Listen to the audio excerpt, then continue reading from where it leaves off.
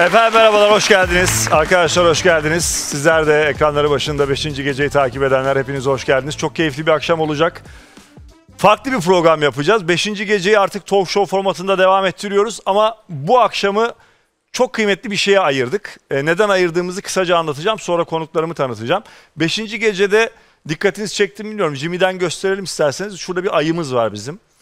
O ayı e, biz bu program için koymuştuk oraya başlamadan önce diyormuşum öyle bir şey yok ama çok e, güzel ve tam yerinde ve zamanında olduğunu fark ettik. Efendim bir gün ben e, kıymetli bir dostumla, onu da burada misafir ediyorum, birazdan size tanıtacağım.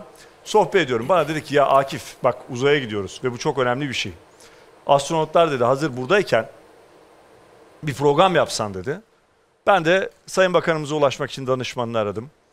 Efendim dedim böyle bir program yapalım astronotlar da hazır buradayken. Dedi ki abi astronotlar Amerika'dalar dedi. Amerika'dalarmış dedi. Tekrar döndüm Ayşegül, Ayşegül tanıştıracağım aradım. Ya dedim Amerika'dalarmış astronotlar sen buradalar dedin ama yoklarmış burada dedim. Ya ben buradayken dedi yani dünyadayken demek istedim dedi. Ayşegül dedim bizim böyle vizyonumuz yok. Buradayken dersen biz Türkiye'de anlarız bunu dedim. Ondan sonra Sayın Bakanımıza bunu bir video çekip attım. Sayın Bakanımız da hazır buradayken yapalım dedi. Sağ olsunlar davetimizi kırmadılar geldiler. Hoş geldiniz. Çok teşekkür ediyorum. Hoş bulduk. Tanıtacağım hepsi, hepinizi ama şöyle bir şey daha oldu. Yolda geliyoruz. Ee, soruları cevapları. Şimdi ben bu işten çok anlamam. Dolayısıyla burada da bu arada çok kıymetli öğrenci arkadaşlarımız var, kardeşlerimiz var. Hepsi matematikçi, hepsi sayısalcı. Onlara da dedim bakın dedim biz sözelciyiz. Sorularınızı ona göre sorun. Ben anlamazsam eğer sorularınızı dedim. ee, bu bir problem olabilir dedim. Şimdi e, onlara da teşekkür ediyoruz. Dedim ki yolda ya ben dedim aya ayak bastığımıza inanmıyorum dedim.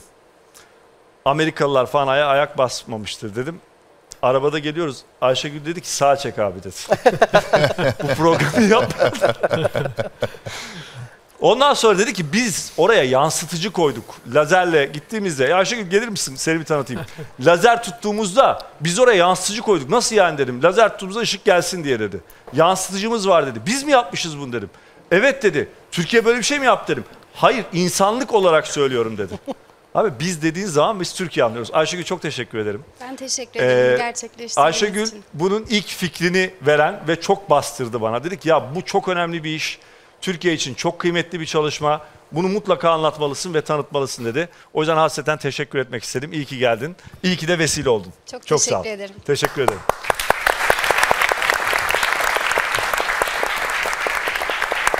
Şimdi bu akşam kimlerle beraberiz hemen e, tanıtayım. Biraz uzun bir giriş yaptım. Sanayi ve Teknoloji Bakanı Mehmet Fatih Kacır. Hoş geldiniz. Hoş bulduk. Teşekkür ederim. Türkiye Uzay Ajansı Başkanı Yusuf Kıraç. Hoş geldiniz. Profesör Doktor Arif Karabeyoğlu Delta ve Genel Müdürü. Delta ve roket motoru üreten e, bir şirketimiz ama özel bir şirket değil. Devletimize ait bir şirket. E, Arif hocamın hikayesi de çok kıymetli. Birazdan konuşacağız. Kendisine de soracağım. E, TÜBİTAK Uzay Projesi Yöneticisi Sayın Ömer Ataş. Hoş geldiniz. Ve efendim e, genç astronotumuz olacak Tuva Cihangir Atasever. Yalnız Sayın Bakanım müsaadeniz olursa efendim. Tabii. Tuva'yı ben bir ayağa kaldıracağım. Ramazan çok ısrar etti. Tuva'yı şöyle bir göstermek istiyorum. Abi bir insanın isminde bir de bu arada TC Atasever olur mu ya? yani bunu bilmiyorum e, nasıl denk getirdiler? Bir aile projesi ve falan mı? Doğuştan Ama- astronot. Ciddi öngörülü davranmışlar. İsmim de TUVA biliyorsunuz. Türkiye Uzay Ajansı'nın TUA. kısaltması da TUA. TUA. Evet. Aynen. Baya yani böyle bunun için Tabii tabii. Aynen. Önden ön- yetiştirilmiş Evet, tabii, tabii. gibi. Ama hakkını vermişsin herhalde ki Teşekkür buradasın. ederim. Çok sağ olun. Hoş geldin. Sizlerle olmak muazzam, arkadaşlarla olmak muazzam. Teşekkürler. Çok sağ olun. Tuva'yı ha bu arada bu arada tabii bu anons ettiğimiz konuklarım. Bir de çok önemli ve sürpriz bir konuğumuz daha var. Şimdi onu da kocaman alkışlarınız. O burada değil, aramızda değil.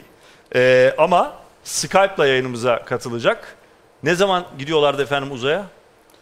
Şu anda planlanan tarih 17 Ocak 2024. 17 Ocak 2024'te uzaya gidiyoruz. Uzaya gitmekle ilgili halkımızın fikri ne onu da sorduk.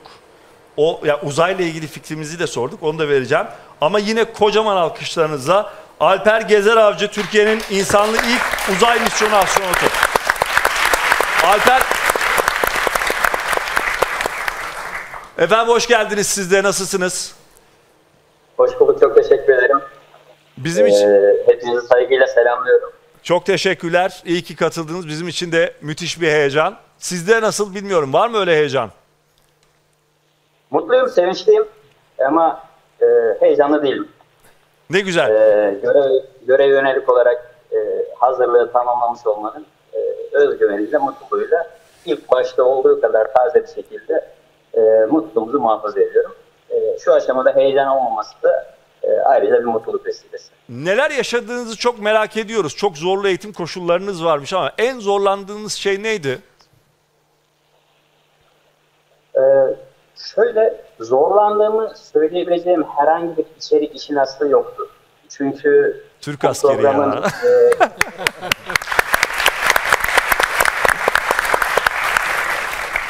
Efendim abi Ee, altı buçuk G yemişsiniz. Öyle mi? e, alt buçuk şey değildi aslında. O bir şey değil diyor. Bir şey değildi. Yok, Eyvallah bir şey değil hakikaten. mi? Normalde zaten rutinimizde günlük olarak yapmış olduğumuz uçuşlarda e, bunun çok daha fazlasını e, çok daha farklı eksende e, şey yapıyoruz, tecrübe ediyoruz. Onun için e, geçmiş havacılık tecrübemizden bu aşamaya taşıyabildiğimiz en güzel artılardan bir tanesi buydu. E, geçmiş kariyerimde e, tecrübe etme imkanı bulmuş olduğum operasyonel süreçte e, bu görevin içeriğine hakikaten çok büyük katkıda bulundu. Ee, o açıdan e, sizin sor, spesifik olarak sormuş olduğunuz sorunun içeriğine gelecek olursak, e, Sayın Cumhurbaşkanımız tarafından Mayıs 2022'de e, bu programımızın e, bütün ülkemizde ilanı sonrasında başvuru sürecine kadar e, yaklaşık 2-3 hafta çok e, inceleyip sık okudum. Ee, ve programa mental ve fiziksel olarak ne derece hazırlıklı olduğunu kendi e, çapımda tartmaya çalıştım. Çünkü bu program ülkemizin 100. yılında e, hakikaten gelecek nesillerimizde çok büyük bir ilham kaynağı olacak çok önemli bir görev. E, devletimizin güçlü iradesiyle e, alınması zor bir karar e, çok anlamlı bir e, eşit e, hattında alındı. E, ve bu sürece yönelik olarak e, değerli kurumlarımız, e, Türkiye Uzay Ajansımız, TÜBİTAK e, Uzayın Önderliği'nde Evet. e, çok teferruatlı bir e, süreçten geçildi. Peki. E, emek veren herkesin bu emeklerine katkıda bulunmak için e, fazlasıyla zaten mental hazırlığı yaptık. Çok teşekkür Dolayısıyla ederiz. çok Gerçekten herhangi gurur duyuyoruz. Ee, Bu arada öğrenci arkadaşlarımız da var. Bir kala- kalabalık burası. Onların soruları da olacak. Buradaki herkese soruları olacak. Kime soracaklarına da ben çok karışmayacağım.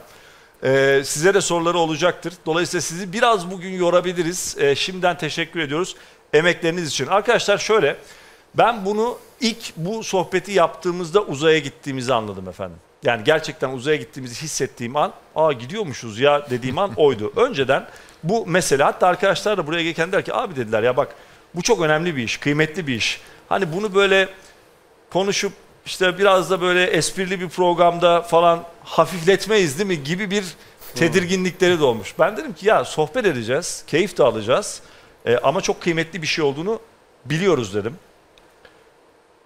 Şimdi Kıymetli şeyler hep o keyfi beraberinde getirir zaten. değil mi? Aynen öyle.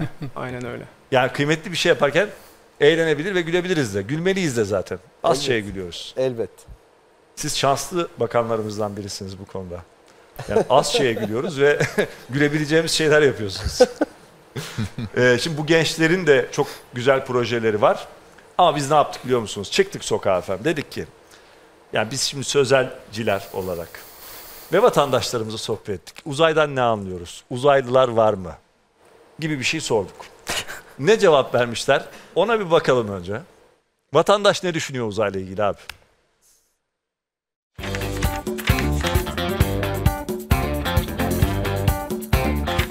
Uzaylıların varlığına inanıyor musunuz? Cevabınızın nedenini açıklar mısınız? Ben pek inanmıyorum çünkü gözle görünen bir şey olmamış şu ana kadar. Sadece varsayımlar üzerine ihtimaller var. Din olarak inanmıyorum ama bilimsel olarak kainatın boşa yaratılmadığını, bize intikal etmeyen bazı hususların bildirilmediği düşüncesindeyim. Ben inanmıyorum. Bana çok hayal ürünü geliyor çünkü. Bence yoklar. İnanıyorum. Bana gerçek geliyor. Bu dünyada tek kaldığımızı düşünmüyorum. Başka varlıkların olduğunu da inanıyorum yani. Ben uzaylıların varlığına inanıyorum. Çünkü yani kocaman bir evrende tek başımıza olacağımızı düşünmemiz bana birazcık saçma geliyor. Ben uzayın da olduğuna inanmıyorum çünkü daha önce hiç gitmedim. Gözümle görmediğim şeyin hiçbir şekilde inanmıyorum. O yüzden de uzaylıların olduğunu düşünmüyorum. Bir balık olsaydı şimdiye kadar çıkardı. Bir aşağı bir inerlerdi. İniyor diyorlar ama pek pek inandırıcı gelmiyor bana. Var kesinlikle var ama yani ben hiç şahit olmadım denk gelmedim daha. Uzaylılara inanıyoruz. Tabii uzayda geziyorlar, görüyoruz hepsini. Eğer uzay yoksa biz o zaman niye uzaya gidiyoruz? Demek ki var. Evet, uzaylılara inanıyorum. Kesinlikle var. Bu evrende yalnız değiliz. Yani varlığına pek inanmıyorum. Hayır inanmıyorum. Çünkü yok öyle bir şey. Yani Allah'a inanıyorum ama öyle şeylere inanmıyorum. İnanmıyorum. Nedeni de yani uzayda hayat olduğunu düşünmüyorum yani. Ondan inanmıyorum. Şu ana kadar bilinmiş, bilinen yani geri kalan hepsi safsata. Yok işte UFO'ydu, yok bilmem ne. Bilinen hiçbir uygarlık bizi ziyaret etmedi.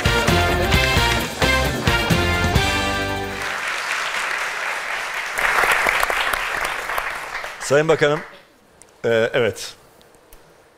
Ne Halkımız? Şu uzaya- halkımızın uzayla uzaya ilgili düşünceleri yüksek. konusunda e, sizin kanaatinizi alarak başlayalım efendim. Evet. Uzaya inanmıyorum, Allah'a inanıyorum diyen vatandaşlarımız var. Uzay e, ya uzaylılara değil, uzaya da inanmıyorum diyen vatandaşlarımız da var. Olabilir bu arada yani. E, ben de aya ayak basmadığımızı düşünüyordum. Gerçekten düşünüyordum bu arada. Ee, Buyurun efendim. şu- Nasıl gibi- anlatacağız biz bu işleri? Sizin gibi düşünenler dünyanın farklı yerlerinde de çokça var tabii.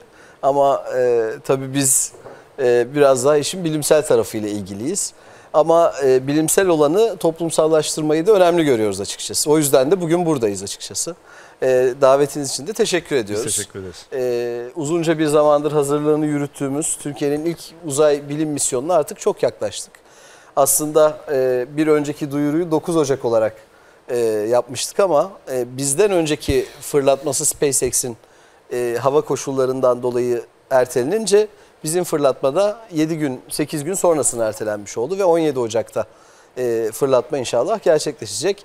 E, görünen o ki halkımızın da ilgisi oldukça yüksek ama tabii esasen e, biraz daha bu işe meraklı, biraz daha bilimle, teknolojiyle ilgilenenlerin çok yakından takip ettiği bir misyon gerçekleşmiş O da var olacak. bu arada. Onu da sorduk. Yani bu misyonu da sorduk. Sadece böyle bırakmadık röportajı. Bu biraz daha gülelim dediğimiz bir yerde. İlk defa uzaya gidecek Türk astronot hakkında, uzay programı hakkında ne düşünüyorsunuz diye de sorduk. Onu ilerleyen dakikalarda veririz. Evet. Biz tabii e, malumunuz bu Teknofestler vesilesiyle aslında Türkiye'nin havacılığa, uzaya, teknolojiye olan ilgisinin çok yükselmesine e, vesile olan işler yaptık son 5 yıldır ve Türkiye'de özellikle e, biraz daha gençlerin, çocukların e, bilime, teknolojiye ve uzaya ilgisi son dönemde çok yükseldi. Ben ümit ediyorum ki bu misyonla birlikte bu çok daha toplumsallaşacak. Niye 7'den gidiyoruz? 77'ye herkes bu işlerle biraz daha yakından ilgilenir hale gelecek. Neden gidiyoruz? Bir kere birincisi e, uzay bilimini ve teknolojisini önemsiyoruz. Çünkü uzay bilim ve teknolojileri aslında pek çok alanda çarpan etkisi yaratan alanlar. Malumunuz insanoğlu özellikle son e, 60 yılda bu alanda büyük mesafe kat etti ve uzay bilim ve teknolojileri adına yürütülen çalışmalar aslında bugün her birimizin hayatında, günlük hayatında kullandığımız pek çok teknolojinin doğmasına vesile oldu. Biz de bu yarışta var olmak istiyoruz. Nasıl havacılık yarışında var olmak arzusundaysak, nasıl bu arzuyla Türkiye'yi yeniden e, havacılık yolculuğunun öncü ülkelerinden biri haline getirebilmek, insansız hava araçları geliştiren, üretebilen bir ülke olabilmek için gayret etmişsek ve bugünlere de artık dünyada insansız hava araçlarında bir numara olan bir Türkiye'den bahsediyoruz. Anka 3'ü uçurduk yeni. TUSAŞ'a da bir alkış alırım.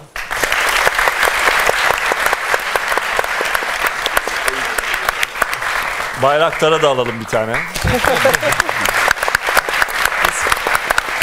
Şimdi sayıları çok sabaha kadar alkışlamamız Çok, evet, lazım. doğru hepsini. ya. Havelsan, Roketsan, Aselsan'a- Bayraktar, TB2, TB3, efendim Anka, Aksungur, Aksungur, Akıncı, Akıncı. Gökbey, Hürkuş, Hürjet, ATAK yani Türkiye son yıllarda havacılıkta muazzam bir atılım gerçekleştirdi. Bunun bir benzerini de biz uzay bilim ve teknolojilerinde gerçekleştirme iddiası taşıyoruz. Ve bu alanda ilk kez bir iş yapmıyoruz aslında. Yani son 20 yılda Türkiye uzay teknolojilerinde büyük mesafe kat etti. Türkiye bugün kendi uydularını kendi imkanlarıyla geliştirebilen, üretebilen bir ülke oldu. Biz 20 yıl önce e, Bilsat uydusunun ortak üretimiyle aslında uydu geliştirme faaliyetlerinde önemli bir adım atmıştık. Ama aslında biraz daha geriye gidecek olursak 80'li yıllarda rahmetli Özal e, TÜBİTAK Uzay Araştırmaları Enstitüsü'nü kurarak önemli bir adım atmıştı. Fakat 90'lı yıllar halen Türkiye'nin uyduları yurt dışından satın aldığı bir dönemdi. 2000'li yılların başında ise uydu geliştirme ve üretim faaliyetlerini artık ülkemizde yapmalıyız dedik ve Bilsat uydusunda bir ortak üretim gerçekleştirdik. Ama hemen birkaç yıl içerisinde RASAT'ı yerli imkanlarla ürettik ve uzaya gönderdik. RASAT çok yakın bir zamana kadar da öngörülenden de çok daha uzun oldu RASAT'ın ömrü. Bu uyduların bir ömrü oluyor. Öngörülen bir e, yaşam döngüleri var aslında. Ama RASAT aslında o öngörünün de ötesinde bir dönem boyunca O görev yaptı. oldu? Yani- E, işimize geldi. Yani uydunun İyi. e, fa- faaliyet göster yani şöyle uyduda bir takım e, sistemler var ve o sistemler uydunun yörüngede hareketini e, sağlayan sistemler. Şimdi bu sistemleri e, sınırlı şekilde kullanma hakkınız var aslında. Doğru mu söylüyorum Ömer Aynen, Hocam? aynen bu bakalım. sistemleri çok fazla kullanma ihtiyacınız olmazsa yani uydunuzun başına bir şey gelecek e, olmazsa böylelikle daha uzun süre uydu uzayda görev yapabiliyor. RASAT'ta e, en son e, kaç yıl tamamlamış oldu? 10 yılın üzerine 10 çıktı. yıl. Aslında çok 7 yıl falan öngörülüyordu ilk Evet, fırlatıldı. evet. Yani e, uzunca bir zaman görev yaptı ama görüntüleme uydularında tabii çözünürlük çok önemli. Rasat'tan sonra Göktürk, Göktürk'ten sonra İmece. İmece metre altı çözünürlüklü bir görüntüleme uydusu. Biliyorsunuz bu yıl Nisan ayında uzaya gönderdik. Bunlar biraz daha dünyaya yakın uydular. Yani e, işte 500-600 kilometre mesafede dünyaya. Dünyayı görüntüleme, görüntüleme imkanı sunan uydular. Ve biz bu- uyduların artık sadece e, nihai sistemlerini değil alt sistemlerini efendim bu elektrooptik kameralarını filan da Türkiye'de yerli milli olarak geliştiriyoruz. Hatta Türkiye elektrooptik uydu kamerasını geliştiren ve dünyaya ihraç eden bir ülke oldu artık. Bir başka ülkeye de ihracat yaptık. Çok güzel. Şimdi haberleşme uydularında da TürkSat 6 ayı yerli olarak geliştiriyoruz, üretiyoruz. Önümüzdeki yıl onu da göndereceğiz. Dolayısıyla biz zaten bu yarışta varız. Ama insanlı görevlerle bilimde çok daha çığır açıcı işler yapma imkanımız var. Çünkü Uluslararası Uzay İstasyonu'nda e, yeryüzünden çok daha farklı işte mikrogravite ortamında birazdan belki Tuğa ve Alper çok daha detaylı anlatacaklardır. E, pek çok e, bilimsel fenomenin e, nasıl gerçekleşebileceğine dair araştırma yapma imkanınız var. Ve bu şu anda e, uzunca bir zamandır dünya bilim literatüründe en önemli yarış alanlarından biri. Bugüne kadar 40'tan fazla ülke uzaya vatandaşını göndermiş. Şimdi artık Türkiye Cumhuriyeti de kendi vatandaşını uzaya gönderiyor ve uzay biliminde bu yarışa dahil oluyor. Biz istiyoruz ki böylelikle nasıl havacılıkta iddialı bir ülke olduk, şimdi uzay bilim ve teknolojilerinde de uydu geliştirmenin ötesinde insanlı uzay misyonuyla da iddiamızı daha ileriye Orada taşıyalım. neler yapacağımızı Bilim da- yarışında biz de Türkiye Cumhuriyeti olarak var olalım. Çok teşekkür ederiz. Orada neler yapacağımızı da konuşacağız. Bu arada buradaki gençlerin hepsi sizin ekibinize bir süre sonra katılacak gençler. Şimdiden Onu da söyleyeyim. onlar Hemen söyleyeyim. Boğaziçi Üniversitesi'nden e, ke- kendinizi alkışlayabilirsiniz. Yıldız Teknik Üniversitesi burada. Yıldız Teknik Üniversitesi. İstanbul Teknik Üniversitesi, İstanbul Aydın Üniversitesi. 3D Vakfı Deney Yap öğrencileri. E, tekrar hepinize teşekkürler. Hoş geldiniz. E, onların da çokça soruları var. Yaz reklam aramız varmış. Peki. E, bir reklama gidelim gelelim. Hatta reklam dönüşü küçük bir sürprizimiz de olacak. Ondan sonra devam edeceğiz efendim.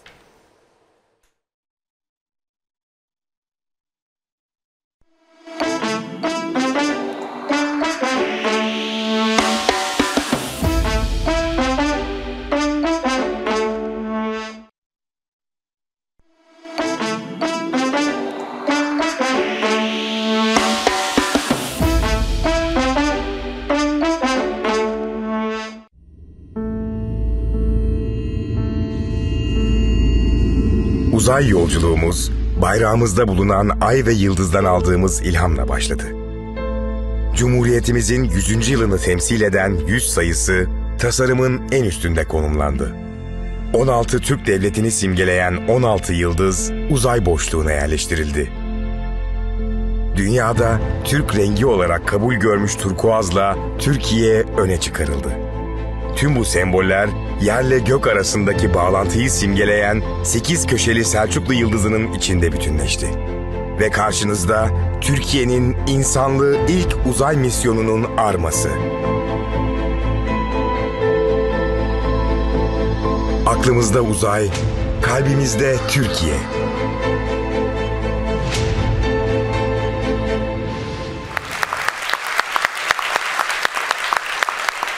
Sevgili çok kıymetli izleyicilerimiz, böyle şimdi 5. gecede size bunu da peçi de tanıttığımız bir film gösterdik. Yani şöyle düşünüyorsanız eğer reklam yapıyoruz diye, evet reklam yapıyoruz. Çünkü reklamını yapacağımız işler yapıyoruz.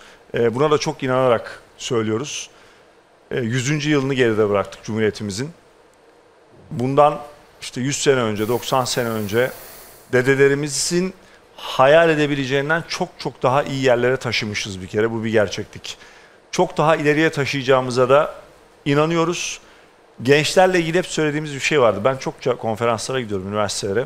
Ya bu gençler falan filan diye başlayan cümleler var ya o cümlelerin hiçbirisinin bir karşılığı yok. Bu gençler bayağı iyi geliyorlar. Bizden çok daha iyi durumdalar. Ee, üzerine koya koya gidiyoruz. O yüzden de çok kıymetli.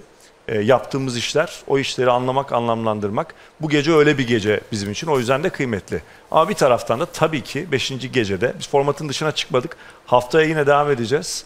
Ee, çok da keyifli konuklarımız olacak. Bu hafta da çok keyifli olacak. Niye? Arada tabii sokağa çıkıyoruz ve şimdi Alper Gezer Avcı e, Houston'da yani orada hem bir karantina süreci var hem e, çok önemli eğitimlerden geçtiler. O eğitimleri falan da birazdan konuşacağız. Biz sokağa çıktık yine. Dedik ki uzaya gidecek olsanız yanınıza alacağınız 3 şey ne olur diye. Vatandaşa sorduk ne alırmış diye. Alper Gezer Avcı ne almış diye soracağım. Sonra da Tuva'ya soracağım ne alırdın diye. Buyurun izleyelim önce.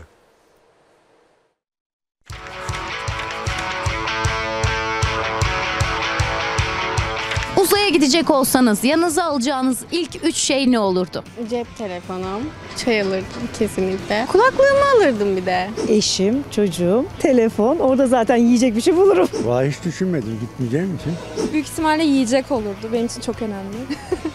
Ondan sonra yanıma bir arkadaşımı almak isterdim. Uzay çok sıkıcı olabilir çünkü. Yani arkadaşım olmasan yapamam. Bir de fotoğraf kamerası falan olabilir. Vallahi ben iyi bir Beşiktaşlıyım. Be- Beşiktaş'ın formasını götürürdüm bir. İkincisi en yakın arkadaşımı alırdım. Birincisi kedimi alırdım. İkincisi kedi maması alırdım. Üçüncüsü de zaten uzaya gideceksek geminin içi donanımlıdır herhalde. Başka bir şeye gerek kalmazdı. Başta su. İlaç kullandığım için ilaç. İlk üç şey dört tane kızım var. Onları alırdım. Torunlarımı. Eşimi alırdım. Almanya'da kızım var. Onu alırdım.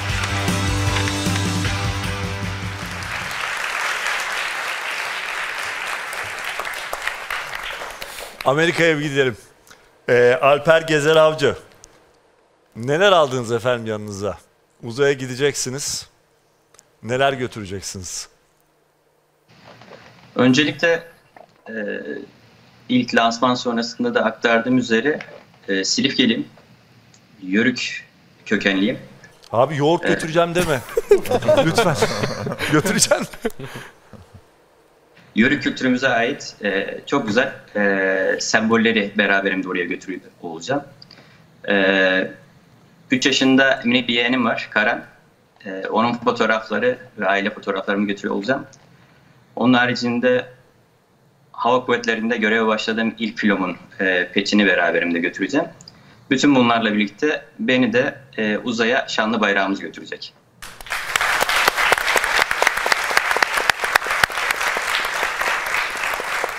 Tuva. Ne götüreceksin yanında? Vallahi bende de benzer aslında bir, birkaç e, malzeme olacak. Kişisel olarak yanımda götüreceğim birkaç aile fotoğrafım olacak tabii ki. E, onları yanımda taşıyacağım. Lansmanın hemen... Cep telefonunu bırakıp mı gidiyorsun? sen? Tabii canım orada dünyanın güzelliğine bakmak varken cep telefonu ne yapayım? Cep telefonu falan olmayacak Cep telefonu yanımda. yok Aynen. Yiyecek? Ee, yiyecek de yok. Zaten e, şöyle Alper abinin çıkacağı misyonda orada 14 gün kalacağı için onun yemekleri orada hazır. Şu anda NASA daha önceki bir misyonla gönderdi. Benim gideceğim yalnızca 1,5-2 saatlik bir uçuş olduğu için yalnızca su olacak. Yemeği de orada yapmayacağız. Ee, Şey su var.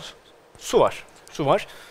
Bir de birkaç yanımda aslında Alper abinin de değindiği üzere hem Türkiye Cumhuriyetimizin e, Sayın Cumhurbaşkanı'nın bize lansmanda teslim ettiği bayrak benimle olacak. Bir de benim bir diğer yanında Azerbaycan Türk'ü, annem Azerbaycan Türk'ü, Bakülü. E, bir Azerbaycan bayrağını da benimle Öyle mi? taşıyor olacağım. Aynen.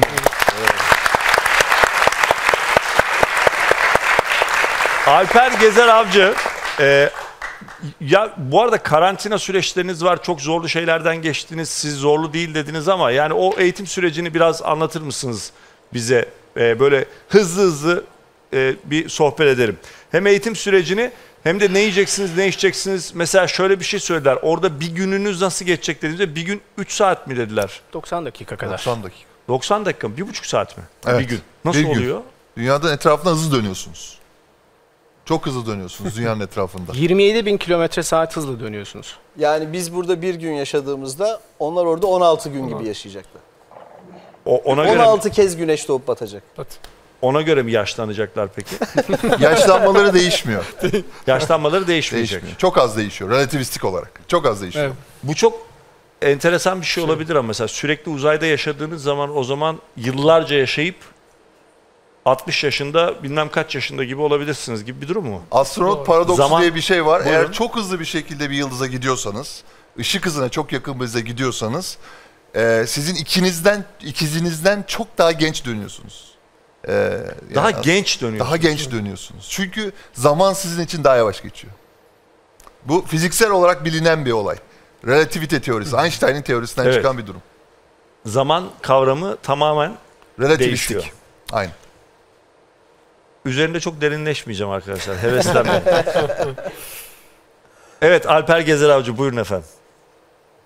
Neler yapacaksınız bir de orada? Bey, e, öncelikle görevin fizyolojik gerekliliklerini karşılamaya yönelik e, TÜBİTAK Uzay'ın önderliğinde yürütülen seçim aşamaları esnasında e, fizyolojik gereklilikleri karşılamaya yönelik olarak alçak basınç çemberi ve santrifüj eğitimlerini e, tamamladık. Bu eğitimlerde biz uzay aracının fırlatma ve yörüngede seyir koşullarında e, ani ivmelenmeler durumunda çok kısa sürede e, yaşanan insan vücudundaki etkilerin ne olduğu, maruz kalınan etkilere karşı nasıl mukavemet göstereceği konusunda eğitimler verildi.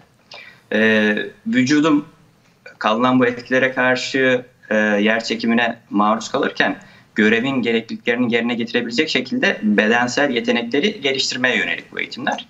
E, genel itibariyle konuşuyorum ama özelimde halihazırda zaten 22 yıldır bu şartlara e, hemen hemen her gün yaptığımız her uçuşta maruz kaldığımız için e, aşinaydım zaten. O geçmiş e, havacılık tecrübesinde çok büyük katkısı oldu. Bu eğitim süreçlerini çok rahat e, geçirmeme vesile oldu benim. Bir Ardından- gününüz nasıl geçecek orada? Buyurun tamamlayın ardından diye özür dilerim ben böldüm. Estağfurullah kusura bakmayın.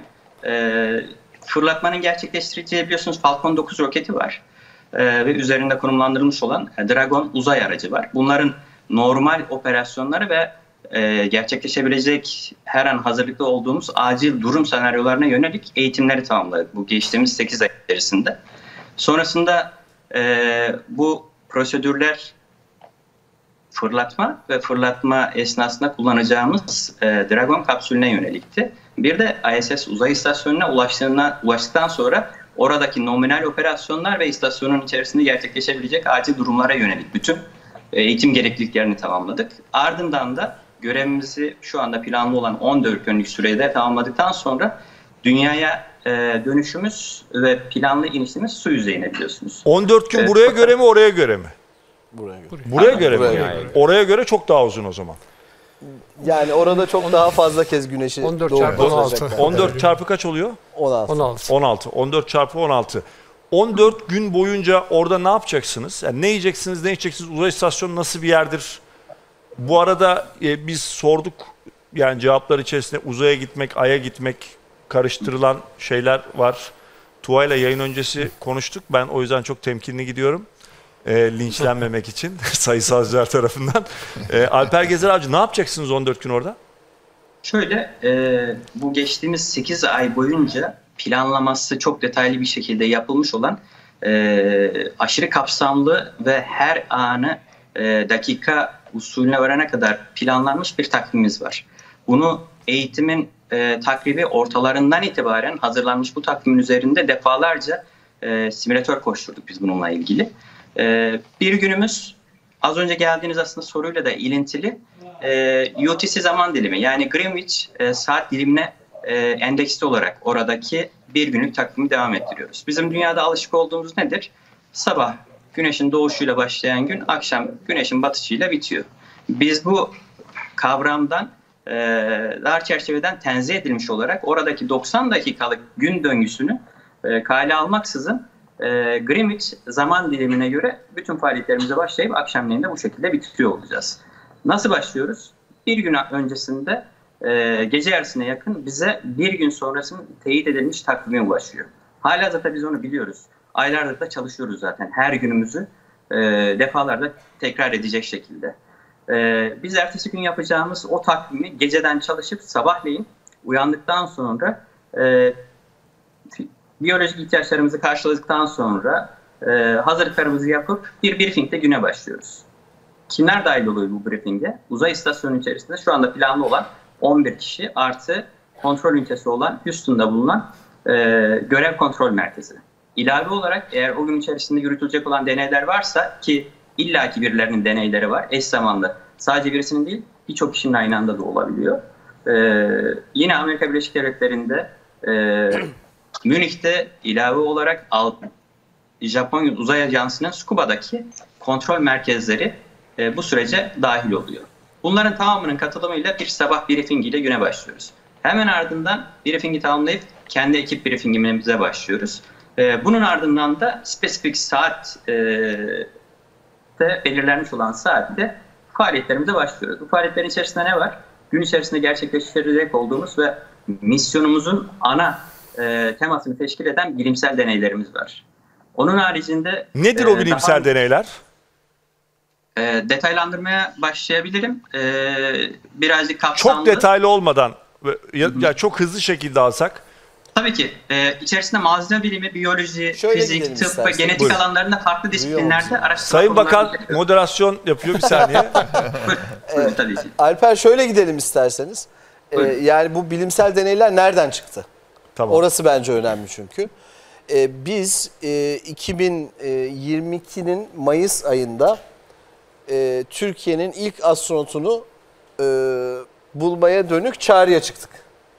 E, ve 30 bin vatandaşımız o çağrıdaki formları kısmen ya da tümüyle doldurdu. 30 bin 30 bin buna uygun sayılabilecek vatandaş. Hayır. 30 bin uygun ya da uygun olmayan vatandaşımız acaba ben de astronot olabilir miyim diye Hiç alakasız başvuru var mıydı? çok vardı tabii ki. Gerçekten yani mi? şöyle hiç alakasız derken kendisi astronot olmak istiyor ama bizim ana kriterlerimiz vardı. Yaş kriterleri, boy kriterleri, kilo kriterleri, efendim eğitim kriterleri, e, yabancı dil kriterleri ve pek çok kriter vardı. Bu kriterlerin tümüne uygun e, yüzlerce aday olduğu gibi neredeyse hiçbirine e, uygun olmayan adaylarımız da vardı. Ama 700'e yakın aday e, büyük ölçüde potansiyel astronot olabilecek aday olarak belirlendi. Sonra bütün bu süreç çok uzunca e, seçmelerden, efendim psikoloji testlerinden, sağlık taramalarından, sağlık e, arşiv taramalarından yani hem kendisinin hem tüm ailesinin e, sağlık arşiv e, taramalarından, e, çeşitli e, bireysel e, pratikleri uzay ortamında yerine getirebileceğine dair e, testlerden e, geçerek bu 700'den fazla aday aşama aşama e, 120'ye, 60'ya, a- 60'a, 30'a, 16'ya, 8'e indi ve 8 finalist e, aslında her biri muhtemelen e, ilk Türk uzay yolcusu olabilecek kimselerdi. Bizim bu misyonu ilk planladığımız andan itibaren hedefimiz bunun bir bilim misyonu olmasıydı. Ee, uzaya çok farklı yöntemlerle de artık gidebiliyorsunuz. İşte çok daha kısa süreli, malum uzay dediğimizde 100 Turistik seyahat kilometrenin yapılıyor. 100 kilometrenin üzerinden bahsediyoruz. Dolayısıyla sizi birkaç saatliğine 100 kilometre üzerine çıkaran herhangi bir aktivite aslında sizi astronot yapmış sayılır. Ama biz uluslararası e, uzay istasyonuna giden ve bir bilim misyonu icra eden astronotumuzu arıyorduk.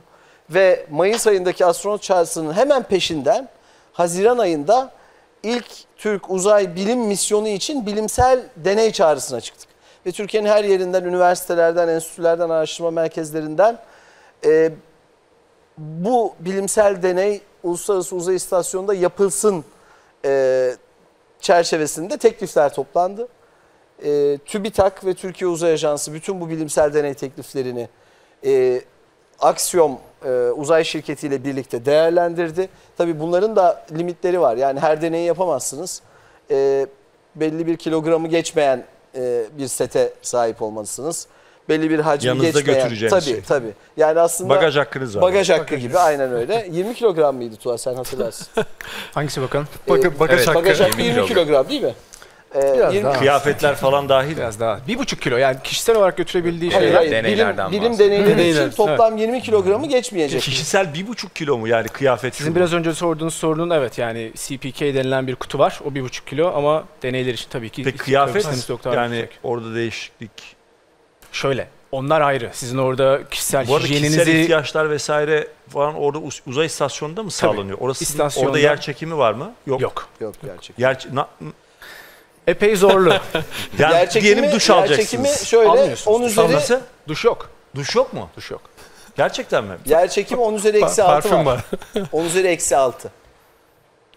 Duş 15 gün duş almayacak. 6 ay kalan astronotlar var. 6 ay boyunca böyle ıslak sabunlu bezlerle kendilerini siliyorlar. Ee, kuru şampuanlar kullanıyorlar.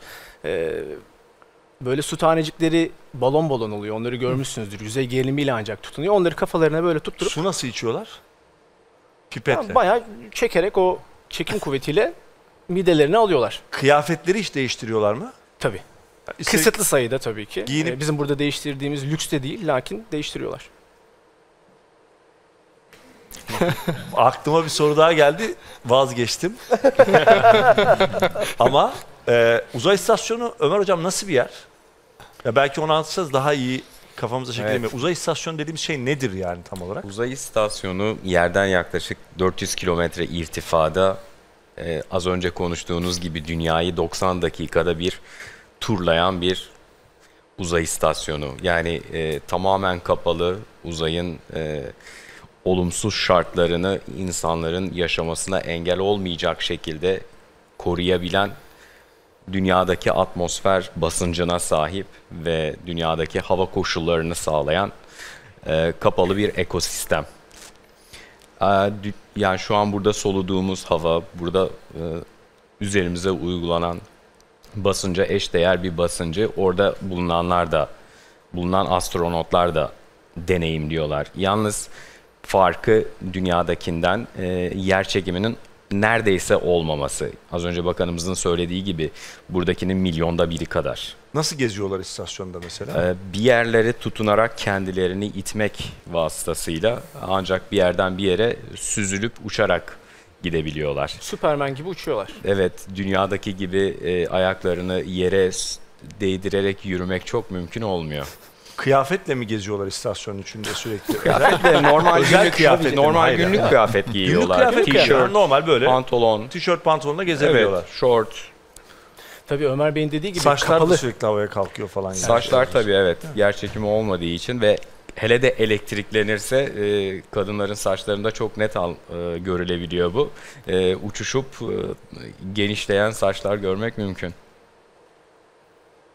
Kapsül. Kimin bunlar bu kapsüller? Kapsül 15 ülke tarafından 15 ülkenin kapsülü Tabii. mü var? 5 tane uzay ajansı. Bu çok zor bir iş tabii ki ve oldukça da maliyetli. Yani bu sebep Birbiriyle bağlı mı o 15 ülkenin kapsülü yoksa Hepsi ayrı? birbiriyle bağlantılı. Hepsi birbirine bağlı. Birbiri arasında astronotlar geçiş yapıp e, süzülerek e, diğerine e, geçiş Yani yapabiliyor. ülkelerin aslında kendilerine ait olan kapsüllerin birbirleriyle ilişkileri var. Modüllerin. Var. Orada Bi- böyle biz- bir biz- ayrılık gayrılık yok gibi mi yani? Ee, mesela Alper Dünyadaki- e, Japonya'nın kapsülünde bilimsel deneyleri Öyle mi? Japonya'nınkinde Evet, mi yapacak? evet. Yani Japonya'nınkinden diyelim Amerika'nın kesim vardır. Amerika'nınkine gidebiliyorsunuz. Tabii ki. Gidebiliyorsunuz ve herhangi bir problem olmadan. yani tabii ki hani e, astronot diyelim ki Japon astronot tabii ki diğer ülkelerin astronotlarını kendi modülüne davet edebilir. E, orada zaman geçirebilirler. Ne büyüklükte bir alan bu efendim? Ee, toplam ISS'in toplam büyüklüğü Boeing 747'nin iç hacmine yakın. Yani e, Tamamının büyüklüğü. Tamamının büyüklüğü. Yani bütün ülkelerin modüllerinin toplam iç hacmi yaklaşık olarak bir e, e, Boeing 747 boyutunda. E, oldukça büyük. Yusuf Hocam burada yapamadığımız neyi yapıyoruz orada? Deney anlamında mı Evet. dedik yoksa? Şimdi şöyle tabii ki. e, uzay ortamı da kendine ait bir ortamı var. Hani biraz önce sudan bahsettik ya, su damlacıkları halinde. Dolayısıyla da o ortamdaki bilimsel deneyler orada yapılacak. Yaklaşık 13 adet deney. E, bu işte oradaki e, materyallerin davranış biçimlerinden tutun da e, sağlık açısından örneğin şeyde dünyada yaptığınız herhangi bir e, e, deneyin oradaki uzaydaki e, bilim adamları bunu merak ediyorlar. Acaba buradaki yaptığımız tedavi biçimi orada farklı bir sonuç verebilir mi? Hmm. diye. E, Hastalıklarla ilgili deneyler. çalışmalar. Evet.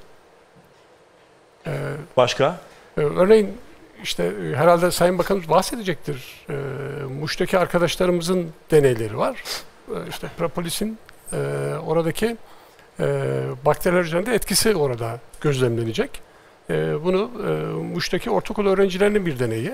E, inşallah orada bunu yapacaklar. Alper Gezer Avcı mı yapacak deneyi? Alper yapacak. Yaklaşık 13 e, deneyimizi de Alper bizzat kendisi yapacak. Zaten onun e, bu eğitim sürecince onu nasıl yapacağıyla alakalı e, uygulamaları gördü. E, orada daha rahat hareket edebilmesi için. Çünkü oradaki zaman çok kısıtlı olacak onun için. E, çok fazla bir zamanı yok. Dolayısıyla o kendisine ayrılan zaman süreci içerisinde bu deneyleri de yapacak. Sürekli 14 gün boyunca deneyler yapacak. Doğrudur. Doğru. Sonra bu bizim artık kullanabileceğimiz, sonuçlarından faydalanabileceğimiz bir şeye dönüşecek. Tabii ki sonuçlar buradaki bilim adamlarımız yani e, birçok üniversiteden ve e, Muş'taki e, öğrencilerimizin e, bu deneylerinin sonuçları geldiğinde bunlar tekrar bir değerlendirilecek. Ve bu tabii bitmiyor. E, Bunların daha sonra gelen sonuçlara göre bir ileri adımları inşallah bu bizim uzaya e, insanla ilk e, tarih tarihimiz başlıyor ama bundan sonra bu devam edecek. Bir süreklilik içerecek. Dolayısıyla bu süreklilik içerisinde bu deneylerin sonuçlarının değerlendirilip tekrar devam etmesi gibi mutlaka bir süreç olacak. Ee, Arif Hocam sizin çok kıymetli bir hikayeniz var. Aslında çok da önemli tecrübeleriniz var. Bu işin merkezinde önemli tecrübeleriniz var. Sonra 2015'te mi Türkiye'ye gelmiştiniz? 13, 13'te mi 2013, geldiniz? evet. 2013'te. Bu Arif Hoca'nın Türkiye'ye gelmesi önemli. Bizim için çok büyük bir değer. E, çünkü roket motorları üretiyorsunuz. Değil mi şu anda? Doğrudur. Ve biz onlarla yani hem savunma sanayine katkısı olacaktır hem de uzaya katkısı olacak. Sizin hikayeniz Türkiye'ye niye döndünüz bu arada? Yani Türkiye'ye şöyle e, neden daha önce gelmediniz şimdi neden geldiniz? Ben aslında biraz daha geri alayım onu eğer müsaade olur, ederseniz. tabii Ee, yani çok hızlı geçeceğim ama biraz en Hay geriden hay. başlayayım. Ben e, 4 yaşından beri uçak mühendisi olma, uzay mühendisi olma e, yönünde hastasıydım. Onu söyleyebilirim. Gençlere anlatayım e, burada. Ve uçak mühendisi olacağım dedim anneme babama. Sene 1986. Bana dediler ki mümkün değil uçak mühendisi olamazsın. Çünkü aç kalırsın. E o zamanlar Türkiye öyleydi. Hiçbir şekilde iş bulamazsın. Dolayısıyla makine mühendisi ol dediler. Ben onlara dedim ki o zaman nükleer mühendisi olacağım. Bunu dedikten sonra uçak mühendisliğini kabul ettiler. Ve ne oldu ondan sonra uçak mühendisliğine girdim. Nükleerde daha Ve çok aç nükleerle korkutarak Ama uçak hocam, mühendisliğine girmiş bizim oldum. zamanımızda bile üniversitede şöyleydi yani uçak mühendisliği ne yapacak abi bu adam şimdi falan dediğimiz bir şeydi. Şimdi öyle değil herhalde. Var mı uçak mühendisi okuyan? Çok Var. Yine çok şurada var, şurada var, var. Ben Buyurun. 1991 yılında mezun oldum İstanbul Teknik Uçak Mühendisliği bölümünden. Yapabileceğimiz birkaç tane iş vardı. Türk Hava Yolları'nda çalışabilirdik veya o zaman e, TAİ vardı, TUSAŞ vardı orada çalışabilirdik. E, fakat bunların çoğunda ARGE yapılamıyordu. Yani dolayısıyla biz ne yaptık? Hemen ne Amerika'ya yapılıyordu gittik. orada? Tamir tadilat gibi şeyler. E, tabii ki yani Türk Hava Yolları'nda e, e, daha çok tamir ve e, Bu şeye benziyor hocam. Özür dilerim. Evet. Askerde komutan şey demişti. Bilgisayar kullanmayı bilen var mı demişti. İşte el kaldırmıştık. Hepimize bilgisayarları taşıtmışlardı. Kolilerle. Akşama kadar bilgisayar taşımıştık. Ee, tam öyle bir şey o, o fonksiyonda kullanılmış o dönem. Sonra Kesinlikle. Ondan sonra ne oldu? Biz direkt e, Amerika'ya gitmek zorunda kaldık. Çünkü eğitimimizi yani bu araştırma geliştirme işlerini yapabilmek için, öğrenmek için Amerika'ya gittik. Orada master ve doktora programına girdik. E, doktorayı bitirirken benim çantam hazırdı. Ben Türkiye'ye dönme niyetlisiydim. Hiçbir zaman orada kalacağım diye düşünmedim. E, oradaki danışmanım, tez danışmanım dedi ki Arif bak tezinden iyi bir şeyler çıktı istiyorsan bir firma kuralım. Devam et dedi. Ona istinaden bir süre kaldık. Yani dolayısıyla firmayı da kurduk. Ee, ama dediğim gibi ben her sene Türkiye'ye gelip Türkiye'de ne yapabilirim, edebilirim, edebilirim diye uzun uzun konuşuyordum o zamanki sektörle. dönüp Fakat- ülkenizde bir şey yapmak istiyorsunuz. Yani alanımda Türkiye'de çalışmak istiyordum. Hep derdim o yöndeydi. Fakat mümkün olamadı. Çünkü o zamanlar 90'larda bilhassa Türkiye'de bu işler gerçekten yapılmıyordu, yapılamıyordu. Bu seviyelerde yapılamıyordu. Dolayısıyla e, 2000 e, li- 2010'lu yıllara geldik ondan sonra. E, ne oldu? Benim bir tane oğlum oldu. Ondan sonra bir de e, başka çocuklar da yapma niyetimiz oldu. Dedik ki çocuklarımız Amerika'da doğarsa Türk olmaları çok zor. Ona istinaden aslına bakarsanız benim Türkiye'ye dönüşüm esas motivasyonum bu yönde. Ee, Türkiye'de çocuklarımın Türk olarak yetişmesi, büyütmesini iste, büyütmek istedim. Dolayısıyla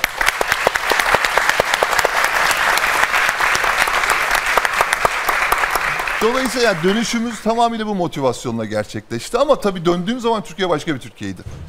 Nasıl bir Şöyle bir şey Türkiye'ydi? oldu mu? Çok özür dilerim. Mesela Selçuk Bayraktar bunu çok e, ça defa anlattı. Programlarımızda da konuştuk. Yani engellemelerden bahsetti mesela o projeleri yaparken. Öyle bir şeyden mi bahsediyorsunuz? Yani Geldiğinizde- şöyle bizim Yoksa buyurun. 2000'lerin başında en başlarında geldiğimizde söylenen şeyler oldu tabii. Dedi hocam siz bu işleri burada yapamazsınız dendi. Açıkça söylendi. Yani dolayısıyla hani e, Yapamazsınız, yaptırmayız. yapamazsınız, yaptırmayız. Sizi olmaz hani eğer bilgilerinizi verin gidin dendi. Bu tür şeyler de söylendi. Yani dolayısıyla o, o tür şeyleri gördük. Şimdi yapabiliyor musunuz? Ee, dediğim gibi biz döndüğümüz zaman 2013 yılında başka bir Türkiye'ye döndük. En nihayetinde motivasyonumuz bu olmasa bile aslında Türkiye'de bu işleri yapabileceğimiz bir ortamın olduğunu gördük. Ve devletimiz de dedi ki hocam sen bu işi Amerika'da yapma burada yap. Ve önümüzü açtı. Ve Delta V adındaki firmayı aslına bakarsanız Sayın Cumhurbaşkanımızın da desteğiyle beraber e, kurduk ve e, Delta bu şekilde başladı ve bu roketlerin yapılması ve bunu yapan ben değilim. Aslında gençler var. Hani yüzlerce genç var Delta V'de çalışan. Bu işleri onlar yapıyorlar. Ne yapıyorsunuz Delta V'de tam olarak ve ne hedefliyorsunuz? Del- yani neden Evet. bu kadar stratejik ve önemli bir kurum bu? Delta V e, aslına bakarsanız yeni bir roket motor teknolojisi geliştiriyor. Biz buna hibrit roket motor teknolojisi diyoruz. Hızlıca roketlerden bahsedeyim. Hocalığım olacak. Kusuruma bakmayın. Roketler biliyorsunuz oksitleyici ve yakıtı bir arada taşıyoruz. Arabada oksitleyiciyi nereden alıyorsunuz? Havadan alıyorsunuz değil mi? Bunu yakıtla yakıyorsunuz. Dolayısıyla hava bedava geliyor. Ama roketlerde hava bedava değil. Oksitleyiciyi de yanınızda taşımanız lazım. Dolayısıyla bu oksitleyiciyi yanınıza nasıl taşıdığınız size ne tür bir roketle çalıştığınızı anlatıyor. Mesela ikisi de katıysa oksitleyici ve yakıt buna katı yakıtlı roket diyoruz. Mesela silah sistemlerindeki küçük silah sistemlerindeki roketlerin neredeyse hepsi katıdır. Çünkü bunlar yoğun oluyorlar. Ee, ikisi de sıvıysa mesela diyelim ki bir tanesi hidrojen bir tanesi oksijen ne oluyor? O zaman biz bunlara sıvı yakıtlı roketler diyoruz. E, bu da mesela uzay mekiğinin motoru veya Alper Bey'in uzaya gideceği Falcon Falcon 9 sisteminin motoru bunu bu şekilde çalışıyor. Biz farklı bir şey yapıyoruz. Biz katı yakıt ve sıvı oksitleyiciyle çalışan bir roket yapıyoruz. Bu roketin özelliği ne biliyor musunuz? Şu. Ben bu roketi bu odaya getirsem, burada ateşlesem hiçbiriniz kaçmayın. Çünkü oksitleyici ile yakıtın bir araya gelip patlayıcı oluşturma olasılığı yok. Ama bu katılarda ve sıvılarda böyle değil. Bunlar bir araya gelip patlayabilirler. Ama ateş çıkarmıyor. Ramazan bir kere stüdyoya roket getirmişti. Ramazan nerede bilmiyorum ama şu an dışarıda mı? Biz yayın yapacakken stüdyoya roket. Ee, bu roket şey olmuyor mu? Ateş çıkıyor. Evet. Arkasından kocaman bir ateş Tamam. çıkıyor. Ama oksitleyici ile yakıt bir araya karıştığı zaman bir patlayıcı oluşturuyorsunuz. Hmm. Bu patlamanın etkisiyle büyük zarar verebiliyorsunuz. Biz bunu ben sınıfımda bile ateşledim diyebiliriz. Dolayısıyla bu teknoloji aslında size bir emniyet getiriyor ve basitlik getiriyor. Bu getirdiği emniyet ve basitliğin sonucunda aslında maliyet etkinlik. Aslında çok ucuz roket sistemlerini e, çok basit alanlarda yapma imkanı veriyor aslında. Bu da e, hem savunma sanayinde uygulamalarda var hem de uzay sektöründeki uygulamalarda var.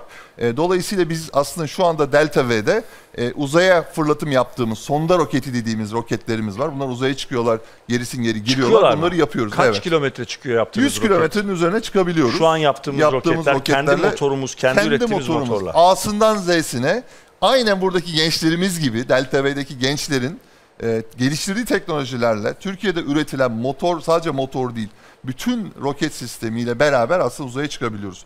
Bunun ötesinde aslında daha da önemlisi uzaya çıkmaktan belki daha önemli bugünlerde uzayın içerisinde çalışan roket motorları yapabilmek. Çünkü aslında şu anda dünyanın eksikliği burada. Uzaya çıkmak artık SpaceX bunu bayağı ucuzlattı ve basitleştirdi. Şu anda uzaya çıktıktan sonra uzay içerisindeki hareketi sağlayabilmek önemli ve bunu aslında Ay projemizde geliştirdiğimiz roket motorları, hibrit roket motorlarıyla aslında dünyaya satabileceğimiz ürünleri e, Fergani firması e, altında aslında geliştiriyoruz diyebiliriz. Yapıyoruz diyebiliriz. Bu dünyada stratejik bir ürün olarak yerini Fergani alabilir. de Selçuk Bey'in yeni uzay girişimi biliyorsunuz. Evet. Selçuk Bayraktarı. Evet. Peki biz ne zaman bu işlerde mesela gelişmiş ülkeleri yani kendi astronotumuzu uzaya gönderebilecek seviyeye ve motorlarını veya bu roketleri üretebilecek düzeye ne zaman geliriz? Böyle bir hedef var mı? Burada hedeflediğiniz şeyler neler? Bizim Planla- için önemli olan benim kanımca şu. Astronotları uzaya yollamaktan öte öyle teknolojileri geliştirmemiz lazım ki dünyada o alanda bir numara olalım. O kadar stratejik alanlarda olmamız lazım ki uzayda masaya oturduğu zaman Türkiye Cumhuriyeti Devleti elinde büyük kozları olsun. Dolayısıyla Türkiye'nin hedefi o büyük sistemleri yapmadan önce aslında dünyadaki o stratejik alanlarda bulunmak ve aslına bakarsanız kendini kendini bu alanlarda, niş alanlarda göstermek. Çünkü büyük sistemleri yapmak, çok büyük sistemleri yapmak, insanların sistemleri yapmak zaman alacak. Gireceğiz oraya ama oraya gitmeden önce çok önemli teknolojileri geliştireceğiz. Yani yine aynı yere geleceğim. Tıpkı havacılıktaki gibi. Yani birileri işte F-35'i falan geliştirdi. İnsansız Belki biz yaptı. şu anda F-35'i geliştirmeye çok yakın değiliz. Tamam onunla ilgili de işte Kaan projesini başlattık ve ilerletiyoruz. Ama insansız hava araçlarında öyle bir kabiliyet geliştirdik ki şu anda küresel dengelerde Türkiye dünyanın en büyük, en başarılı İHA üreticisi olarak e, stratejik bir konuma gelmiş oldu. Aslında hocamın da uzay Kesinlikle. teknolojileri için e, ifade ettiği tam da bu. Evet. Benzer şekilde başkalarından üstün olabileceğimiz Evet.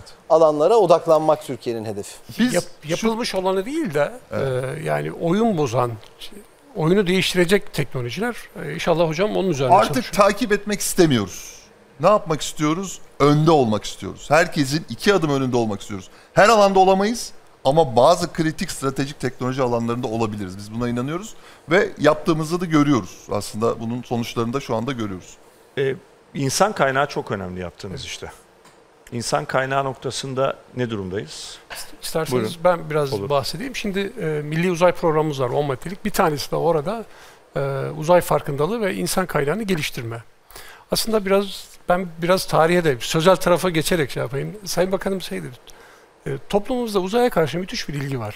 Aslında biz korkunç büyüklükte bir deneyimin üzerinde uyuyoruz şu anda biliyor musunuz? Neyin 700 ucunda uyuyoruz? Deneyimin üzerinde. Şimdi Deneyimin bahsedeceğim evet. Uzaya mı uzaylılara mı ilgisi var toplumun? toplumun uzaya, Uzaya ve uzay var. çalışmalar, gök Uzay. bilimine daha doğrusu. Aslında bizim e, 8. yüzyılda yani 750'lerde e, çok ciddi bir çalışmalar başlamış. İşte e, İbrahim el Fezari ve e, Yakup bin Tarık'la başlayan daha sonra birazdan vereceğim, biraz da de- detayına gireceğim. E, Ahmet el Fergani artı Harezmi ile birlikte yüksek seviyeye çıkan daha sonra da e, Biruni ile devam eden bir sürecimiz var. Şimdi Fergani'yi zaten hemen Selçuk Beyler oradan ben Fergani'ye hemen geçeyim. Ee, öyle bir adam ki 12. ile 14. yüzyılda bu adamın kitapları Avrupa'da en çok okunan kitaplar. Öyle ki Christoph Kolomb onun e, usturla bu mesafeyi ölçen şeyini bizzat kullanarak yaklaşık %25 mesafeyi azaltmış. Çok önemli bir şey daha var. Dante'yi hepimiz biliriz. İlahi komedya. Evet. İlahi komedyada Dante'nin uzay bilimleriyle ilgili direkt Fergani'den aldığı atıflar vardır. Ee, zaten e, Alfraganus diye bilinir batıda ve şu anda ayda bir kratere de ismini vermiştir. Ee, buradan ben açıkçası yıllardan beri bu toplum e, çok büyük bir şeyin üzerinde yatarken bunları özellikle Selçuk Bey ve Haluk Beylerin böyle bir şirket kurarak bunu e, ortaya çıkarması, bu ismi kullanması bence tekrar bizim 500 yıllık bir kesintimiz var. Yani en son kesintimiz işte Ali Kuşçu ile. Ali Kuşçu bildiğiniz gibi Semerkant'ta Semerkant'ta yetişiyor e, ve oradan e, daha sonra İstanbul'a geliyor. E, Ulu Bey'in babası Ulu Bey'in Doğancıbaşı yani kuşçu şey oradan gelir. Doğancıbaşısının oğlu. Oradaki eğit aldığı eğitimlerle ki e, Semerkant'taki şey çok önemlidir. E, rasathane yaklaşık 992 tane gezegenin tam yerini tespit ediyorlar. Yıl 900'lü yıllardan sonraki gelecek oradan etkilenerek 1400'dür tabii ki e, Ulu Bey'in medresesinde çıkan e, ve oradan çıkan bugün çok önemli bir şey daha var. Örneğin Biruni'nin gök gök biliminde e, göğü takip ettiği aleti 17. yüzyılda sadece bir mercekle bugünkü e, bu şeyler e, adı? Teleskoplar. Teleskoplar e, icat ediliyor. Yani aslında çok ciddi bir kayna şeyin e, kültürün e, üzerinde oturuyoruz ve tekrar biliyorsunuz toplumlar aslında tarihlerinden, geleneklerinden kültürlerinden beslenirler. Bizim asıl amacımız da tekrar bugünkü gençlerimizi o tarihle buluşturmak. O aradaki 300-400 yıllık e, boşluğu bir an önce doldurmak ve bağımızı kurmak. Çünkü oradan beslenmemiz lazım. Peki ilgi arttı mı mesela efendim üniversitelerde öğrencilerimizin yani insan kaynağını sorarken aslında bir yerde de işte 700 tane astronotluk için elverişli kişi oldu ve elendi ve bu noktaya geldi dediğimiz bir yerde Şimdi tabii uzaya ilgiyi farklı e, kanallardan ölçümleyebiliriz aslında. Bir yönüyle üniversitelerdeki havacılık uzay e, fakültelerine, bölümlerine olan ilgiye bakabiliriz. Bildiğim kadarıyla son 5 yılda Türkiye'deki tüm havacılık, uzay mühendisliği bölümlerine olan ilgi çok yükseldi. Ve bütün bu bölümlerin üniversite giriş sınavlarındaki taban puanları da 5 yıldır yükselişte. Ve hızla yükseliyor. En, en zorlaşıyor en yani yüksek hız kat- tabii girmek. bu bölümlere Güzel. girmek giderek Daha zorlaşıyor. nitelikli hale demek ki demek ki gençlerimiz bu bölümlerde daha fazla öğrenim görmek istiyor. Bizim düzenlediğimiz etkinlikler açısından bakarsak Teknofestler zaten malum. Yani biz bu yıl 3 Teknofest'te 4,5 milyon misafir ağırladık. Dünyada bunun eşi benzeri yok. Yani şu anda dünyada e, böylesine bir gençlik, böylesine bir toplumsal seferberlik ikinci bir ülkede yok. Ve bu bir yönüyle havacılığa ve teknolojinin diğer alanlarına olduğu gibi aslında uzay bilimlerine olan ilgiyi de gösteriyor. Geçtiğimiz yıllarda biz e, gökyüzü gözlem etkinlikleri düzenledik. E, aslında yıllardır TÜBİTAK tarafından Antalya'da düzenlenen, e, Saklıkent'te düzenlenen etkinlikleri Anadolu'nun farklı coğrafyalarına taşıdık. E, Erzurum'da, Van'da, Diyarbakır, Zerzavan Kalesi'nde gökyüzü gözlem etkinlikleri düzenledik ve binlerce hatta on binlerce misafirimizi e, o e, gökyüzündeki yıldızların aydınlattığı gecede ağırlama imkanına kavuştuk. Bu da aslında toplumda çok geniş bir kitlenin artık uzay bilimine, gökyüzüne eskiyle mukayese ettiğimizde çok daha yüksek bir ilgi gösterdiğini ifade ediyor diye düşünüyorum ben. E, insan kaynağı dediğimizde ama bilimsel tarafa odaklanacak olursak da bugün e, az önce Arif hocamın ifade ettiği Delta V gibi, Fergani gibi şirketlerde pırıl pırıl mühendislerimiz var. Roketsan Türkiye'nin en önemli e, savunma sanayi ve teknoloji şirketlerinden biri. E, Roketsan'da binlerce mühendisimiz var. Keza TÜBİTAK Uzay Araştırmaları Enstitüsü'nde uydu geliştirme faaliyetleri yürüten, TUSAŞ'ın kendi bünyesinde çok büyük bir e, uydu geliştirme ve test altyapısı var. E, USET ismiyle ve uzay ortamının simüle edildiği, böylelikle uydu geliştirme faaliyetlerinin gerçekleştirilebildiği bir merkez. USET ve etrafında TUSAŞ'ta e, çok nitelikli yüzlerce mühendisimiz var. E, böyle baktığımızda Türkiye aslında e, ciddi bir insan kaynağına beşeri sermayede hali hazırda sahip. Yani bütün bu projeler zaten bu insan kaynağı sayesinde mümkün oluyor. Ama tabii çok daha fazlasına ihtiyacımız var. Yani yarış çok hızlı.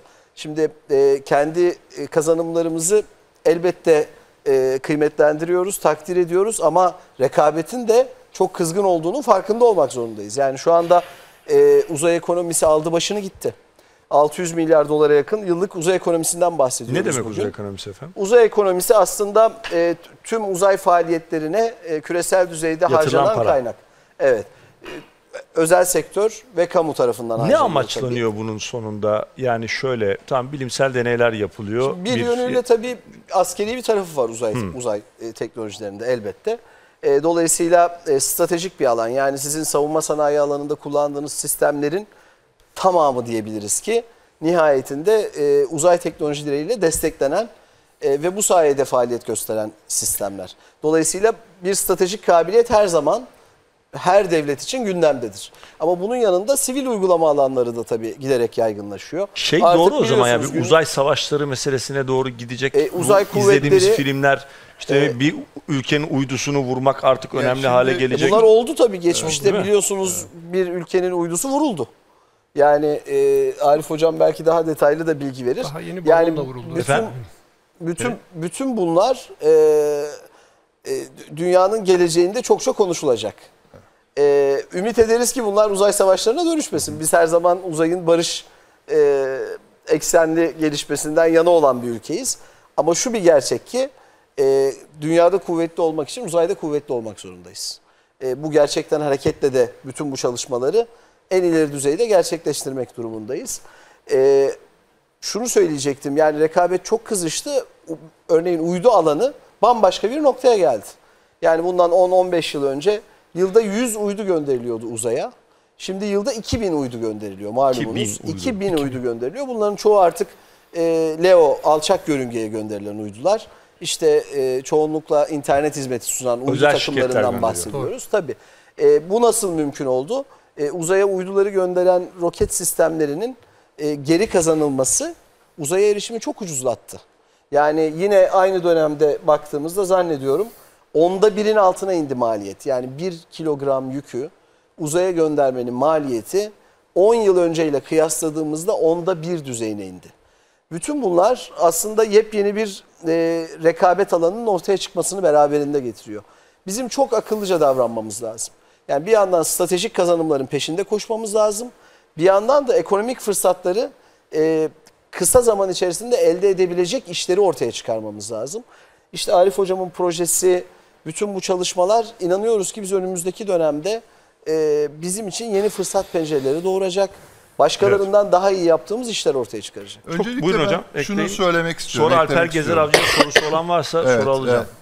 Ben e, ya Alper deneyleri biraz anlatsın. Deneyleri Oradan anlatsın. topu buraya aldık Evet ya aldık vermedik. Hocam siz buyurun Evet, önce. şöyle söyleyeyim yani bir kere ben Amerika'da 22 sene kalıp bu işi yapan biri olarak şunu söyleyeyim. Orada da Stanford Üniversitesi ile beraber çalışıyorduk, yakın çalışıyorduk. Oradaki öğrencilerimizle çalışıyorduk.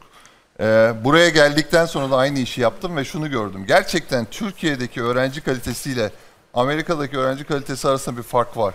Ama Türkiye'de daha iyi. Neden daha iyi biliyor musunuz? Teknik ve motivasyon seviyesi aynı olsa bile hani bizim kültürümüzün getirdiği bir avantaj var. Onu görüyoruz. Daha Yani çalışkan dolayısıyla mıyız? daha çalışkanız, daha bağlıyız, e, işimize bağlıyız. Yani dolayısıyla bu alkış gençlerimize. Yani bunu bunu inanın gençlerimize canı gönülden söylüyorum. Bu gerçek ve hakikat. Ama ama bakanımızın dediği çok önemli bir nokta var. O nokta da şu. Bakın biz yarışta geri kalamayız. Ve inanın mühendis nerede yetişiyor biliyor musunuz? Üniversitelerde ilk eğitiminizi alıyorsunuz ama mühendis projelerde yetişiyor. Dolayısıyla gerek devletimizin gerekse özel sektörün bu projelere devam etmesi lazım. Uzayda eğer biz bu yarışı kaçırırsak, ticari uzay yarışını kaçırırsak, bu treni kaçırırsak bunun telafisi çok zor olur. Ya dolayısıyla şu anda çok kritik bir noktadayız ve Türkiye Cumhuriyeti Devleti olarak hem özel sektörüyle hem de devletiyle beraber uzayda yer almamız çok çok kritik. Peki e, soruları alacağım ama bu arada az önce Nişantaşı Üniversitesi'ni saymamışım. Diğerlerini saymıştım. Onu da e, hemen söylemiş olayım. E, Alper Gezer Avcı'nın deneyleri anlatması gibi bir durum vardı. Çok kalabalığız. Kusura bakmayın böyle Amerika e, bizde Ankara genelde dezavantajlı olur. Bak artık Amerika dezavantajlı. Yakında belki uzaydan bağlanırız. Uzay dezavantajlı olur. Alper Gezer Avcı şu e, deneyleri e, Sayın Bakan da ifade etti. Birkaç e, deney isterseniz böyle hızlı hızlı paylaşalım. Sonra gençlerin soruları var. Bu arada Yıldız Teknik'in e, roket çalışmasını da biz yayınladık. Bize bir video göndermişlerdi o takım. E, onu da yayınladık. Alkışlayabilirsiniz kendinizi. Sorun yok.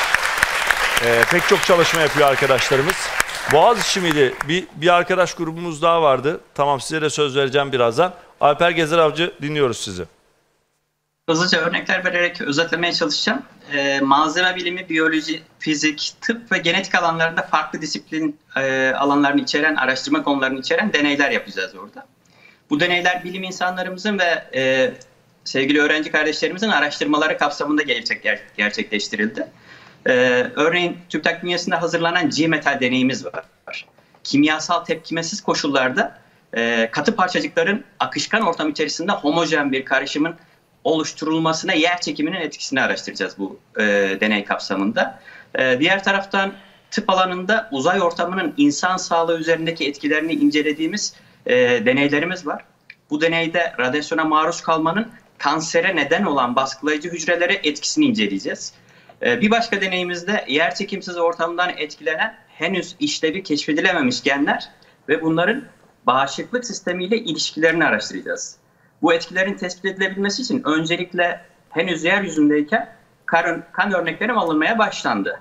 Ee, uzayda da kan örnekleri alınmaya devam edecek. Görev sonunda dünyaya inişimizi takiben e, yine kan örnekleri alınca bu deneylerin yürütülmesinde işbirlikleri ve destekleri için değerli hocalarımın tamamına çok teşekkür ediyorum.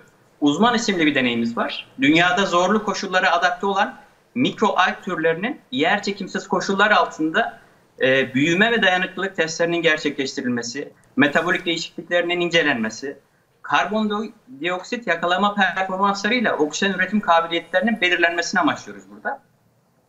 E, bilim misyonu olan, bilim misyonunun ortağı olarak görev yapan TÜBİTAK MAM'la birlikte e, bu deneyin devamında yaşam destek üniteleri e, geliştirilmeye çalışılıyor.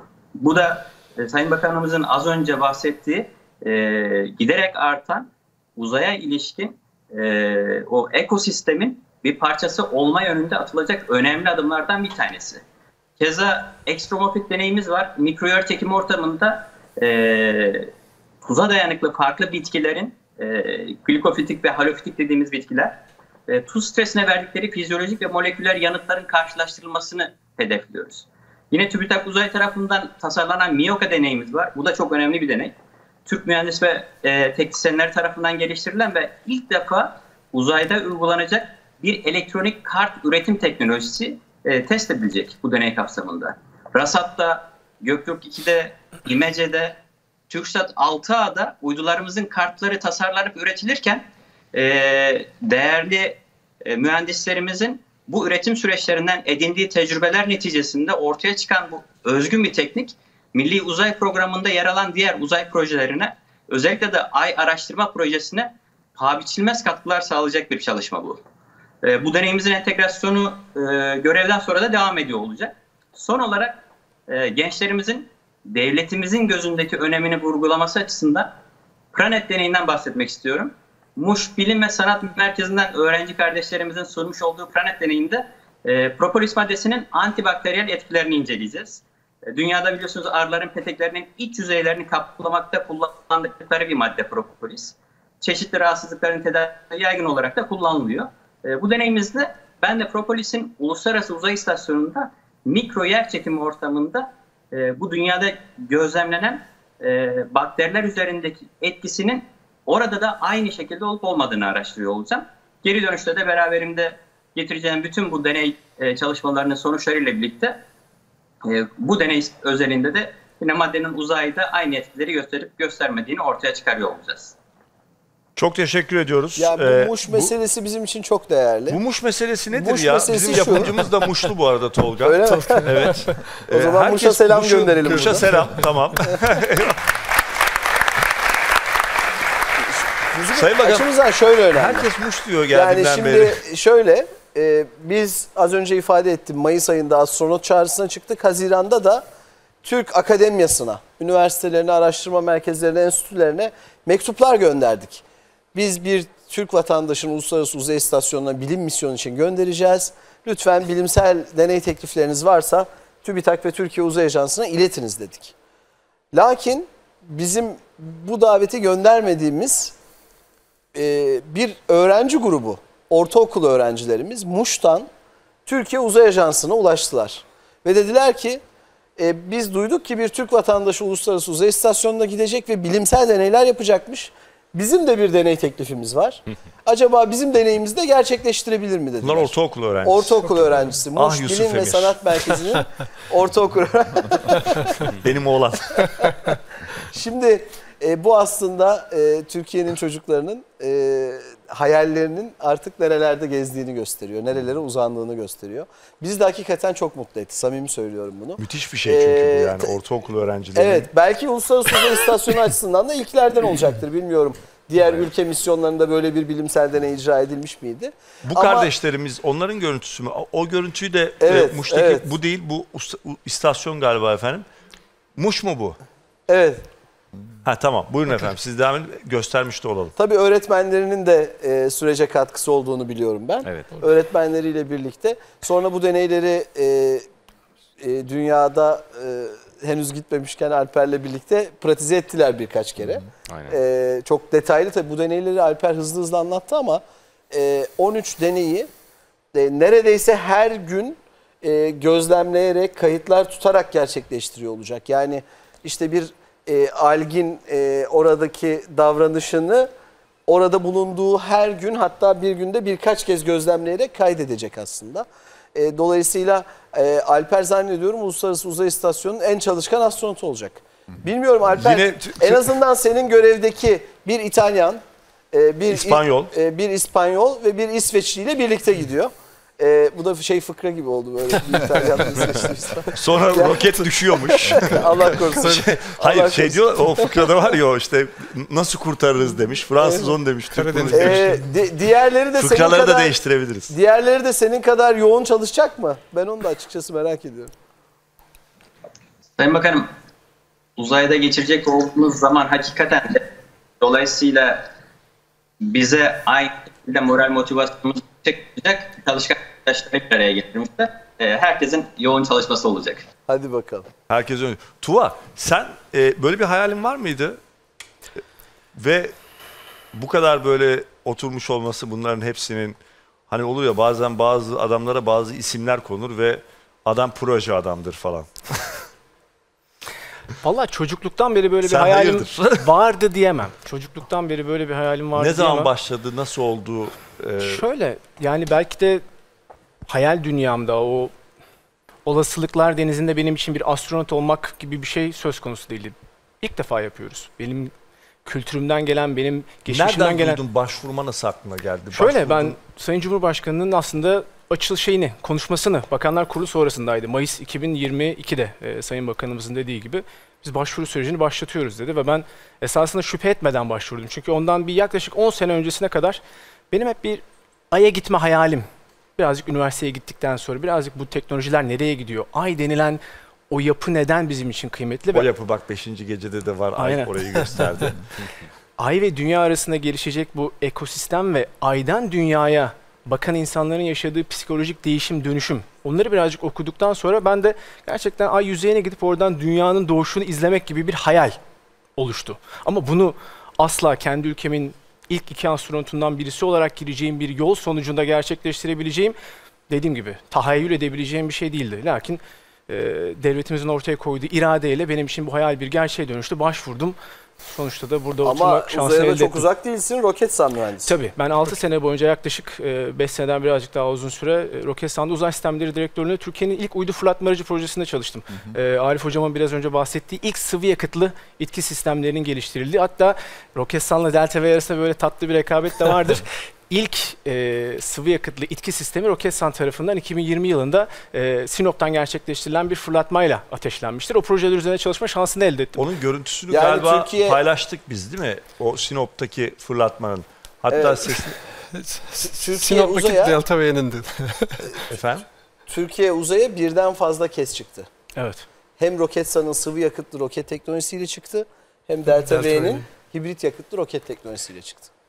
Kendi e, astronotlarımızı kendi roketlerimizle uzaya gö- ne zaman göndeririz? Gönderir miyiz? Yani şu- şöyle önümüzdeki cevap 10 yıl için e, böyle bir hedefimiz yok. Ama 10 yıl içinde gerçekleştirmeyi hedeflediğimiz projeler tamamlandıktan sonra ben inanıyorum ki o noktaya gelmiş olacağız. Siz bir şey diyordunuz ben- buyurun. Benim söyleyeceğim şu ben akademik yönden yaklaşıyorum. Hani devlet düşüncesiyle değil. Ee, teknolojik olarak önemliyse bizi 3 adım öne götürecekse yapalım. Ha güzel. Yani önemli o önceliğimiz o. değil diyorsunuz. Yani esas hedefimiz bizim insanımızı kendimizin oraya götürmesi mi? Yoksa öyle teknolojileri üretelim ki başkalarıyla gidelim ama onlar da bize muhtaç olsun mu? Ee, sorusuna Güzel. cevap vermek lazım. Ve ben ikinci taraftayım. Biz öyle teknoloji geliştirelim ki bütün dünya bize muhtaç olsun. Yani o teknolojiden biri de insanları oraya çıkarmak olabilir. Şimdi çok teşekkür ederim hocam. Gençlerimizin e, soruları var. Uzaya gitme hayali olan gençlerimiz varsa görebilir miyim? Ya ben çıkmak istiyorum. Başvuranlar var mıydı burada? Başvuranlar. Bu projeye mesela başvur. Niye başvurmadınız madem hayal ediyordunuz? Üniversite mezunu olma Birkaç şartı tane var. var. Birkaç tane var ama e, Üniversite gitmek isteyen mezunu olma çok daha şartı fazla. vardı. Efendim? Üniversite mezunu olma şartı vardı. Şimdi Mezun olma arkadaşlar şartı öğrenci ise. vardı. O yüzden olmamış Doğru.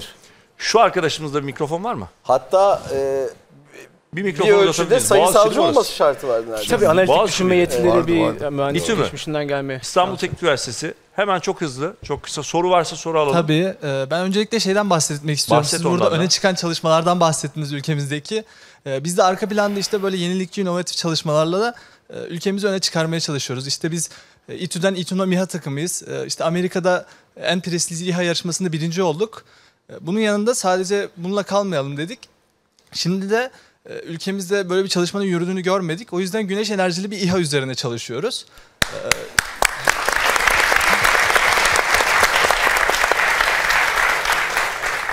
Teşekkür ederiz. Yani bu bizim işte büyüklerimizin bize kattığı vizyonla, misyonla en iyi şekilde ilerlemeye çalışıyoruz. İsim neydi? efendim? İsim neydi? Ha, ismim Hasan. Hasan, Ee, çok İTÜ'de. teşekkür ediyoruz. Teşekkür ederim. Biz de Ee, teşekkür sorun var ederiz. mı? Ee, çok küçük bir de sorun var. Lütfen, aslında kime? şöyle sorunlu bir soru. Ee, Olur, olsun. bizim genel olarak proje takımında olarak ufak sorunlarımız oluyor. Bunlar işte yurt dışından gelen malzemeler olsun, gümrükte takılması gibi problemler olsun. Güzel Sayın Bakanımız buradayken sorunlu sorularınızı sorun. Halledelim. Bir de işte bu e, bizim maddi sıkıntılarımızı çözmek üzere e, böyle sektörle bir bağlantılı bir şekilde proje takımlarına e, yardım tarzında bir proje gibi bir şey olabilir mi? Bunları sormak istiyorum. Teşekkür ederim. Çok sağ Teşekkür olun. ediyorum. Soru bana diye anlıyorum. Kesin bence efendim. evet bakalım. Teşekkür Önce ederiz. tebrik ediyorum. İTÜ'nün takımını biliyorum tabii ki. Ee, uzun bir zamandır. İTÜ'nün tabii öğrenci takımlarında e, muazzam bir gelenek oluştu. Ee, yani e, 10 yıllık, 15 yıllık artık proje takımları var İTÜ'nün. Ve e, İTÜNOM gibi dünya birincisi olan takımlar da var. E, pek çoğu Teknofest yarışmalarına da katılıyor. Teknofest'te de derece alıyorlar. İTÜ'nün de 250. yılı bu arada. Buradan tüm İTÜ'lülere de tebriklerimizi ve selamlarımızı da göndermiş olalım.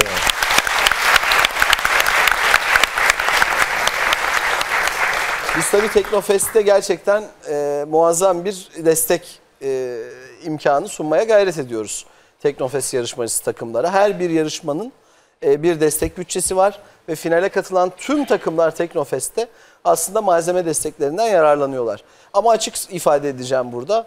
E, şöyle bir yaklaşımımız var. İhtiyaç duydukları kaynağın tamamını vermiyoruz. Bir kısmını veriyoruz. Bir kısmını da kendi imkanlarıyla sponsor bularak gerçekleştirmelerini arzu ediyoruz. Biraz Çünkü zorlanın ki o kıymetli çabanın, olsun. Açık konuşayım o çabanın kendisini de kıymetli görüyoruz.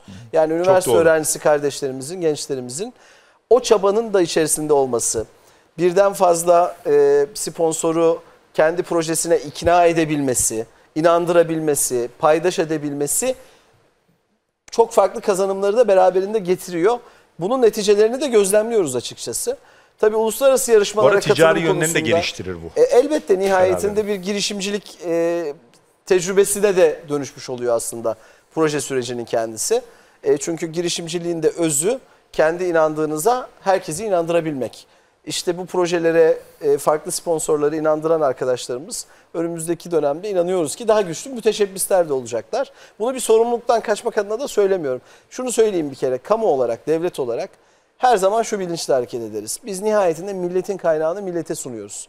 Yani biz kimseye bir şey bahşediyor falan değiliz. Öğrenci kardeşlerimiz bu ülkenin en kıymetli, e, bu ülkeyi geleceğe taşıyacak insanlar. Dolayısıyla bizim görevimiz milletin kaynaklarını en etkin şekilde sizlere sunabilmek. Ama bunu yaparken de sizin e, kişisel yolculuğunuzun, takım yolculuğunuzun da en iyi istikamette ilerlemesini sağlamak. Biz önümüzdeki dönemde bu destekleri artıracağız.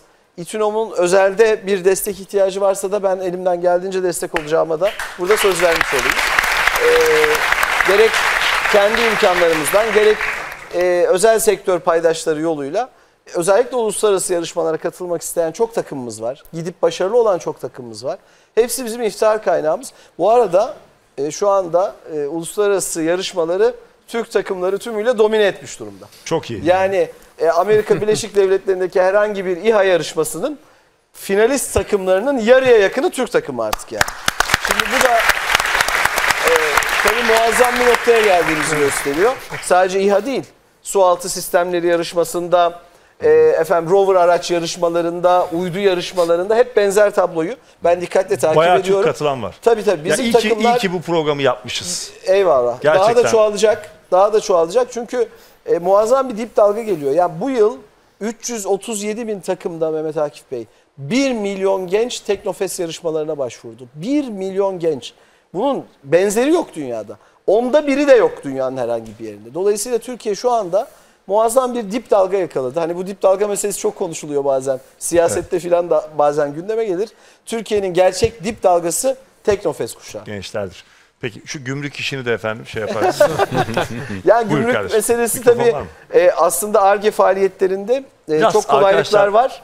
E, ama e, bununla ilgili biz bir merkezi destek mekanizması kurmamız gerekiyorsa TÜBİTAK eliyle sizin ihtiyaç duyduğunuz malzemeleri kolay bir şekilde temin etmenize de katkı veririz. Çok teşekkür Çok ediyoruz. teşekkür ederiz. Buyurun. Çok sağ olun. İyi akşamlar. Ben Yıldız Teknik'ten Tarık. Öncelikle arkadaşa çok kısa bir ekleme yaparak başlamak istiyorum. Kinom'un e, solar İHA'sını gördüm lansmanında. Gerçekten güzel bir proje ama arkadaş Türkiye'de böyle bir çalışma olmadığı için başlatmak istedik dedi. Biz Kayseri'de 2016'da Solar RGS adında bir projeyle 6 metre kanata çıktığında bir solar İHA yapmıştık. 2021'de uçurduk. E, Hasan Hoca'nın da katıldığı bir e, uçuşta Hasan e, Hoca TÜBİTAK Başkanı. Evet Hasan Mandal Bey'in katıldığı bir uçuşta Kırım yaşadık. Arkadaşların bayrağı alıp ileriye taşıması çok güzel. Tebrik Harika, ediyorum. süper. Çok iyi bağladın ben de seni tebrik ediyorum. Güzel. Bu yarış da güzel. Ee, Evet, kıymet vermek de güzel. Bence de. Eyvallah. Ee, Arif Hocam'a bir sorum olacaktı. Ee, bu AYAP göreviyle alakalı. AYAP görevi yakın bir zamanda, nispeten yakın bir zamanda görev tanımı değişti ve e, sert inişten yumuşak inişe geçildi ve görev zorluğu eksponansiyel arttı. Ee, burada normalde iTransfer motorunu e, hibrit bir motorla e, yapmayı planlıyor. Yani sizin aslında e, Delta V'nin alameti farkı hibrit motorlar kullanacaktı ama inişte yine hibrit motor teknolojisi mi kullanılacak yoksa Türkiye'den bir monopropellant ya da standart bir sıvı yakıtlı Bir düzeltme üretecek yapmak istiyorum ben. Ee, aslına bakarsanız hala sert iniş devam ediyor. Yani proje sert inişle başlayacak çünkü bu işi yapmanın doğal yolu bu. Aha. Bütün ülkeler bu şekilde gitmiş. Evet. Rusya ile başlamış, Amerika devam Sovyetler. etmiş. Ee, biliyorsunuz. Dolayısıyla sert iniş yapılacak. Dolayısıyla oradaki planda bir değişiklik yok. Ama ikinci proje tabii ki yumuşak iniş projesi. E, Ay'a iniş motorunun geliştirilmesi illaki yani Delta V ve Roketsan gibi firmalar bu konuda çalışıyorlar.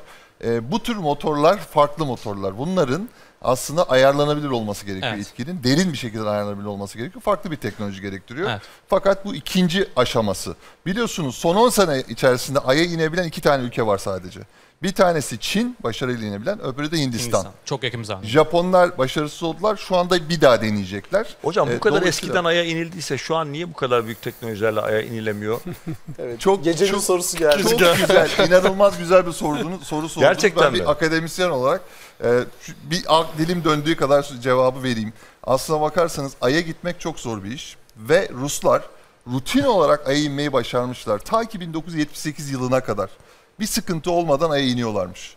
Ve 78 yılında Ay projelerini bitirmiş Ruslar ve ilk defa Ay'a inme projesini biliyorsunuz geçen sene fırlattılar ve başarısız oldular Neden? 2023 yılı içerisinde. Yani 70'te inip şimdi nasıl başarısız? Ben size şöyle söyleyeyim şundan dolayı. Çünkü teknoloji nerede biliyor musunuz? Burada. İnsanın aklında. Siz istediğiniz kadar rapor yazın. Hiçbir ehemmiyeti yok. Çünkü o bilginin aktarımı insandan insana oluyor. O jenerasyon mühendislerin emekli olmuş olması aynısı NASA'da da var. Bakın NASA mühendislerinin de emekli olması dolayısıyla artık o bilgi olmadığı için yeniden öğrenmeniz gerekiyor bazı Ama not şeyleri. alınmıyor mu bunlar? Yani nasıl inildiği teknolojiler hepsi Ben kayıtlı size değil şöyle mi? söyleyeyim. Bu, biz buna e, biz buna siyah sanat deriz. Black art İngilizcesiyle. Siz istediğiniz kadar derinlemesine rapor yazın. İşin yüzde onu o black art'tadır. Dolayısıyla insanın beyninden geçer. O teknisyenin e, kas hafızası. İnanın o kadar önemli ki. Orada en ufak bir hata yaptığınız zaman uzay sistemleri öyledir. Mutlaka çırak yapar. kalfa yetişecek yani. Dolayısıyla bu işlerde bu işlerde süreklilik çok önemli. Bu işlerin Çok bir ülkede şey. bir ülkede kültüre dönüşmesi ve sürekli olması çok önemli, çok kritik. Yalnız ben bu Ay projesiyle ilgili biraz konuya girmek istiyorum. Ee, şimdi biz e, 2021 yılında e, Milli Uzay Programımızı ilan ettik. Sayın Cumhurbaşkanımız Cumhurbaşkanlığı Külliyesi'nde Türkiye'nin 2030 yılına kadar hedeflerini ilan etti. Bu hedeflerle ilgili iki yıl hazırlık yapıldı. Yani Türkiye Uzay Ajansı 2018 yılında kuruldu. Aslında yeni bir ajanssız. Yani Türkiye Uzay Ajansı dünyadaki en yeni ajanslardan, en genç ajanslardan. 2018'in sonunda Sayın Cumhurbaşkanımız Türkiye Uzay Ajansı'nı kurdu. Bizim ilk ödevimiz Milli Uzay Programı'nı hazırlamaktı. 2021 yılının ilk haftalarında da Sayın Cumhurbaşkanımız Cumhurbaşkanlığı Külliyesi'nde dünyaya 10 yıllık uzay hedeflerimizi ilan etti. Ve bu hedeflerin her biri çok sıkı çalışıldı. Bu hedeflerden bir tanesi de e, bir ay programını gerçekleştirmek. İki aşamalı olarak bu ay programını gerçekleştireceğimizi ilan ettik. İlk aşamada bu teknik bir tabir e, arkadaşlarımız bilirler ama bilmeyenler alay ederler, dalga geçerler. Enteresan geliyor bana. Yani halen Türkiye'de e, bilimsel çalışmaların alaya alınma çabası gerçekten ibretliktir. E, sert iniş gerçekleştirmek. Yani sert inişten kasıt aslında hedef ay yüzeyinde ilave araştırmalar yapmak değil, yeryüzünden 380 bin kilometre ötedeki aya erişebilmek. İkinci etapında ise yani birkaç yıl sonraki misyonda ise bu defa aya yumuşak iniş yapacağımızı ilan ettik. Ve ilk ilki için hedefi 2023'e koyduk. İkincisi için de 5 yıl sonrasına koyduk. 2023 yılı tamamlanmak üzere bu hedef henüz gerçekleşmedi. Ben dün televizyon ekranlarında gördüm. Bir siyasetçi, yani burada çok polemiğe, yani siyasi programda da değiliz farkındayım. Ama ben meseleye temel bir yaklaşım açısından bunu önemsiyorum. Efendim o günlerde ilan edilmiş olan hedefi işte bir gazete manşetinden gösteriyor ve bunu alaya alıyor. Yani işte e, Ay'a gideceklerdi gidemediler filan. İşte e, bir gazeteci diyor ki efendim 3 gün var 3 günde sert iniş yapar onlar filan falan diyor. Siyaset bu olmamalı Türkiye'de.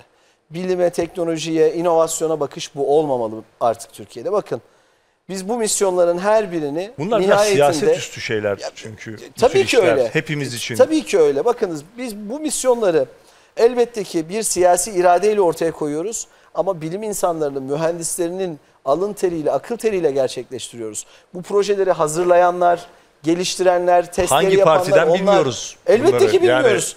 Elbette ki bilmiyoruz. Zaten öyle bir yaklaşım içinde olsak herhangi bir bilimsel netice elde etmemiz mümkün olabilir mi? Ve biz elbette iddialı hedefler ortaya koyuyoruz. Ama her zaman daha zorunu hedeflediğimiz için ilk günkü planlar birebir gerçekleşmeyebiliyor. Sadece bizde mi öyle oluyor? Hayır. Bakın uzayı yeryüzündeki teleskoplarla gözlemleyebildiği gibi insanoğlu uzay teleskoplarıyla da gözlemliyor. Yani uzaya teleskoplar gönderiyor ve o teleskoplarla uzayın çok daha derinliklerine bakabiliyor. Malumunuz e, geçmişte Hubble teleskopu çok popülerdi. Son yıllarda James Webb teleskopu kullanılmaya başlandı.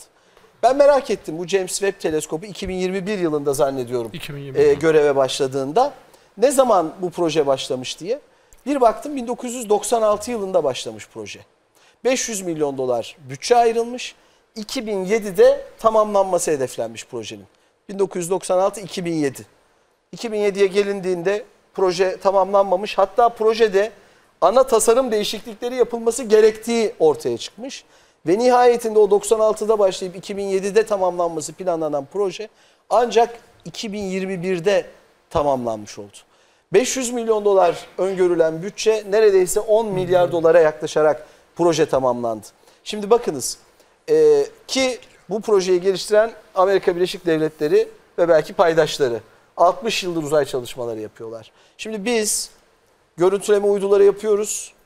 Yerden yaklaşık 600 kilometre öteye yaklaşık 500 kilogramlık elektrooptik sistemleri olan yeryüzünü görüntüleyebildiğimiz uydular üretiyoruz. Ama şimdi TürkSat 6A'yı yapıyoruz. Bu defa 4,5 tonluk bir uydudan bahsediyoruz. Ee, çok daha uzakta 36 bin kilometrelerde görev yapacak bir uydudan bahsediyoruz. Ama ay misyon dediğimizde bu bizim için elbette çok iddialı. 380 bin kilometreden bahsediyoruz. Ay'a kendi hibrit roket motorumuzu bakın Ay'a erişmeye çalışan başka ülkeler çoğunlukla başka ülkelerden aldıkları sistemlerle bu projeleri gerçekleştiriyor. Biz ise ilk fırlatmayı uluslararası anlaşmayla yapacak olsak da dünya yörüngesinde kendi hibrit roket motorumuzu ateşlemek ve ay transfer yörüngesine geçmek ve kendi teknolojimizle aya erişmek hedefi taşıyoruz. Yani iddialı bir proje gerçekleştiriyoruz. Şimdi ARGE'den haberi olmayan, bilimden, inovasyondan haberi olmayan birisi çıkıp diyor ki ya ne oldu 2023'te Ay'a gidecektiniz ha ha. Ya bu değil. Türkiye'de bilime, teknolojiye, inovasyona bakış artık bu değil. Toplumda da bu değil, gençlerde de bu değil. Benim bütün siyasetçilere tavsiyem, kısacası özetle, bu işlere ancak saygı duysunlar. Ha, herkes bu işleri çok fazla bilmiyor olabilir. Çok ilgi de duymuyor olabilir. Ona da bir şey diyemem. Ama saygı duymayı bilsinler. Nihayetinde saygı duydukları Türkiye'nin bilim insanları, Türkiye'nin mühendisleri. Teşekkür ederim. Şöyle şurası hiç elini indirmedi. Ee, arka tarafa doğru uzatalım. E, merhaba benim adım Sevde. Ben 7. sınıf öğrencisiyim. Bir de Deneyap'tan geliyorum. E, Hoş geldin şimdilikle Sevde. hoş bulduk. E, benim merak ettiğim konu ben e, uyumaya bir tık fazla düşkünümdür. Yani bir tık uykucuyumdur ve rahatıma çok düşkün bir insanımdır. E, uzaydaki uyuduğumuz yerler yani yataklar da e, dünyada... Saat 1 bu arada. Efendim? Saat 1'e geliyor. Uyuman gerekiyor mu bilmiyorum ama. yani bilmiyorum uykuma çok düşkünümdür. Yani uyumam lazım. Uzayda nerede uyuyorlar onu mu soracaksın? Ee, onu değil, neye göre tasarlandığını ya da dünyadaki şeylere benziyor mu? Ee, şeklini, şemalini ya da neye göre tasarlandığını yer sormak çekimi istiyorum. Alper Gezer Avcı ya da Aynen, Tuva. yer olmadığı çekimi için merak olmadığı için. Tuva buyur. Tabii Sen ya. cevapla. Bir aslında herkesin uluslararası uzay istasyonunda bir kabini var. Bunları tasarlarken insanların onun içerisinde rahat edebilmesi, birazcık daha konforunu artırmak ve tabii ki güvenli bir şekilde orada uyuyabilmelerini sağlamak için çeşitli önlemler alınıyor. Örneğin yumuşak malzemelerle kaplanıyor çünkü süzülüyorsunuz. Yani bir uçma Uyurken hali havadasın değil mi yani Hava, ya, tabii havadasın, bıraksan havadasın hatta seyahat de edebilirsin farkına varmadan ama kendilerini bağlıyorlar. Duvara kendilerini bir uyku tulumunun içerisine bağlayıp o şekilde uyuyorlar. Kimisi pek yapamıyor, hoşuna gitmiyor ama kimisi de çok daha rahat ve verimli uyuduğunu söylüyor. Belki bir gün e, sen de onu deneyimleme şansı Havada elde edersin. uyuyorsunuz yani. E, evet. Bir yere temas etmeden ama dediğim gibi kendilerini çok sıkı bağlayanlar da var. Bu çeşitli kişisel tercihlere göre değişiyor. Buyurun lütfen. İsminizi de evet. Merhaba, öncelikle hepinize teşekkür ederiz bu program için. Ee, ben İstanbul Teknik Üniversitesi Rover takımından katılıyorum. İsmim Irmak. Ee, ekipte organizasyon lideri olarak görev alıyorum. Ee, ben şunu söylemek istiyorum açıkçası. Biz dünya çapında yarışmalara katılıyoruz ve bu yarışmaları NASA, e, Avrupa Uzay Ajansı destekliyor. Ama biz yönümüzü Türkiye'ye çevirdiğimizde bu alanda çok fazla şirket ve sektörle aslında karşılaşamıyoruz. Bu alanda devletin böyle atılımları olacak mı acaba? Çünkü e, dünya çapında bu yarışmalarda gerçekten hatırı sayılır başarılarımız var. Ama buraya döndüğümüzde bunun karşılığını çok alamıyoruz diğer tarafa baktığımıza göre. E, bu alanda bir şeyler yapmayı düşünüyor musunuz? Çok teşekkür ederiz. Size bence efendim. Evet, biraz da Uzay Ajansı Başkanı'na da Ha, fazla- Uzay Ajansı olur. Biraz da onu da artık. Evet. Yani o da Biraz topa sakal. bu sorumlulukları evet. E, nihayetinde Uzay Ajansımız bu işleri Evet. inşallah daha Teşekkür fazla ediyoruz, buyurun gerçekleştirecek. Ama ben İTÜ'de e, rover yarışmasına geldim. E, bu yılkine gelemedim E, ama geçen yılkine katıldım. E, İTÜ'deki rover takımından haberdarım. Türkiye'deki diğer rover takımlarından da haberdarım. Tabii rover dediğimizde izleyicileri de açalım. E, işte Ay yüzeyinde ya da Mars yüzeyinde hareket edebileceği öngörülen sistemlere yönelik yarışmalardan bahsediyoruz. Sayın çok Bakanım, değerli şey yarışmalar ekleyeyim, bunlar. Gezegen gezgini olarak Türkçe'ye çevrilmiş. Bence çok güzel bir çeviri. Gezegen, gezgini. Ben de beğendim. Gezegen gezgini diyelim. Tamam. Ee, bu yarışmaları Teknofest bünyesinde düzenleyebiliriz önümüzdeki dönemde. Tabii Teknofest'te bir heyet var. O heyet e, dünyadaki yarışmaları inceler. E, eğer Türkiye'de düzenlememizin ilave e, faydaları olacağı kanaati oluşursa da inanıyorum ki Teknofest'te düzenleyebiliriz. Ayrıca bu rover takımlarının hem Türkiye'de hem uluslararası yarışmalardaki projelerine de elimizden geldiğince elbette destek oluruz. Aslında tabii bizim ay misyonumuzdaki özellikle ikinci ay misyonumuzdaki o yumuşak iniş yaparak ay yüzeyinde araştırma yapacak aracımız bir rover. Dolayısıyla o aracı geliştirecek insan kaynağının yetişmesi lazım. O da sizlerden gelecek. Buyurun efendim. Aslında harika bir soru yani çünkü e, bildiğiniz gibi bu uzay çalışmalar aslında devletler eliyle başlamış fakat şu anda tamamen özel sektör üzerine gidiyor. Sayın Bakanımız o 600 milyar dolarlık bir şu anda pasta ve bu her sene %8 büyüdü ve bu artık özel sektör eliyle büyümeye başladı. Sadece bakın bu e, navigasyon dediğimiz zaman konumlama belirliyor. Yaklaşık 200 milyar dolar üzerinde bir gelir oradan geliyor. Ülkemizde de şu anda buna başlayan özel şirketler başladılar. Yani isim vermek şey değil, işte Planes gibi, e, Hello Space gibi, Fergani gibi şirketler şu anda aslında oradan biz pay alabilmemiz için e, çalışıyorlar ama kesinlikle katılıyorum bunun sayısını arttırmamız lazım. Yani burada ben bu, şuna inanıyorum ki bu görünürlüğümüz arttıkça oradaki rekabet de çok e, hızlanacak. Dolayısıyla da Biz TUA olarak da e, açıkçası zaten bir görevimize destek ve regülasyon. Dolayısıyla da bu destekleri vereceğiz inşallah. Alper Gezer Avcı'ya sorusu olan var mı? Alper Gezer Avcı'ya. Verebilir miyiz şu arkadaşımıza? İsmini de öğrenelim Tabii lütfen. ki de. Benim ismim Yakup Öztürk. Ee, Yakup. Yakup. Ee, Halley e, roket takımını ve Doğan roket takımı temsilen katılıyorum buraya. Ee, benim deneylerle ilgili bir sorum var. Ee, hem de e, Teknofest'le ilgili bir sorum var. İkisi de çok birleşik. Ee, bildiğiniz üzere Türkiye e, sağlık alanında öncü ülkelerden bir tanesi. Sağlık alanında çok başarılı ameliyatlar yürütüyoruz. Ee, gelecekte mesela uzayda omurga sağlığı alanında çalışmalar yapılabilir. Nasıl yapılabilir? Ee, şu anki mevcut durumda omurgalar dondurularak iyileştiriliyor. Ve bu e, maalesef insanın bünyesini çok kötü etkileyen bir durum.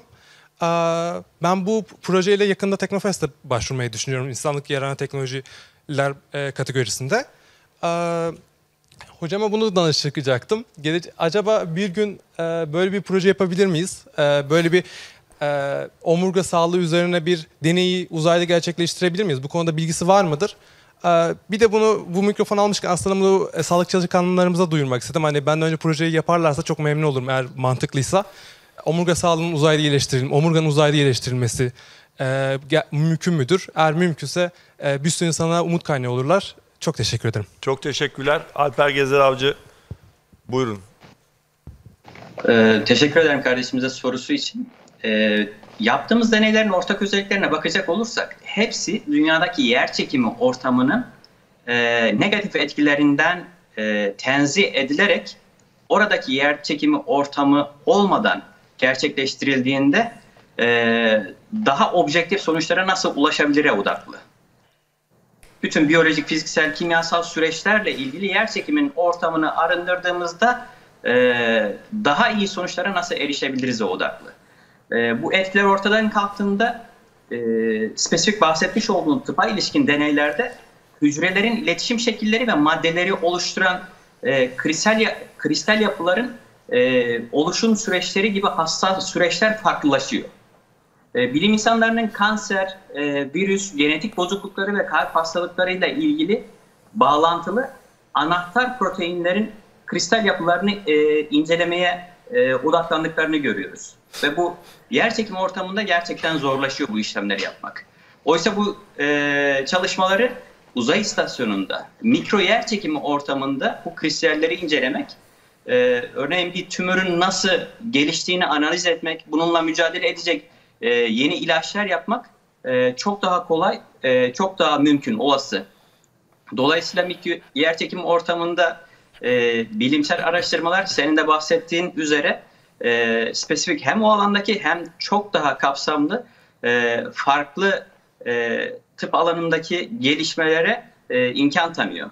Bu konuda da halihazırda zaten e, nispeten ideal e, deney ortamına yönelik olarak yapılan bazı çalışmalar e, örneğin 3D yazıcılarla farklı organ parçalarının üretilmesi gibi belli bir aşamaya kadar getirilmiş durumda.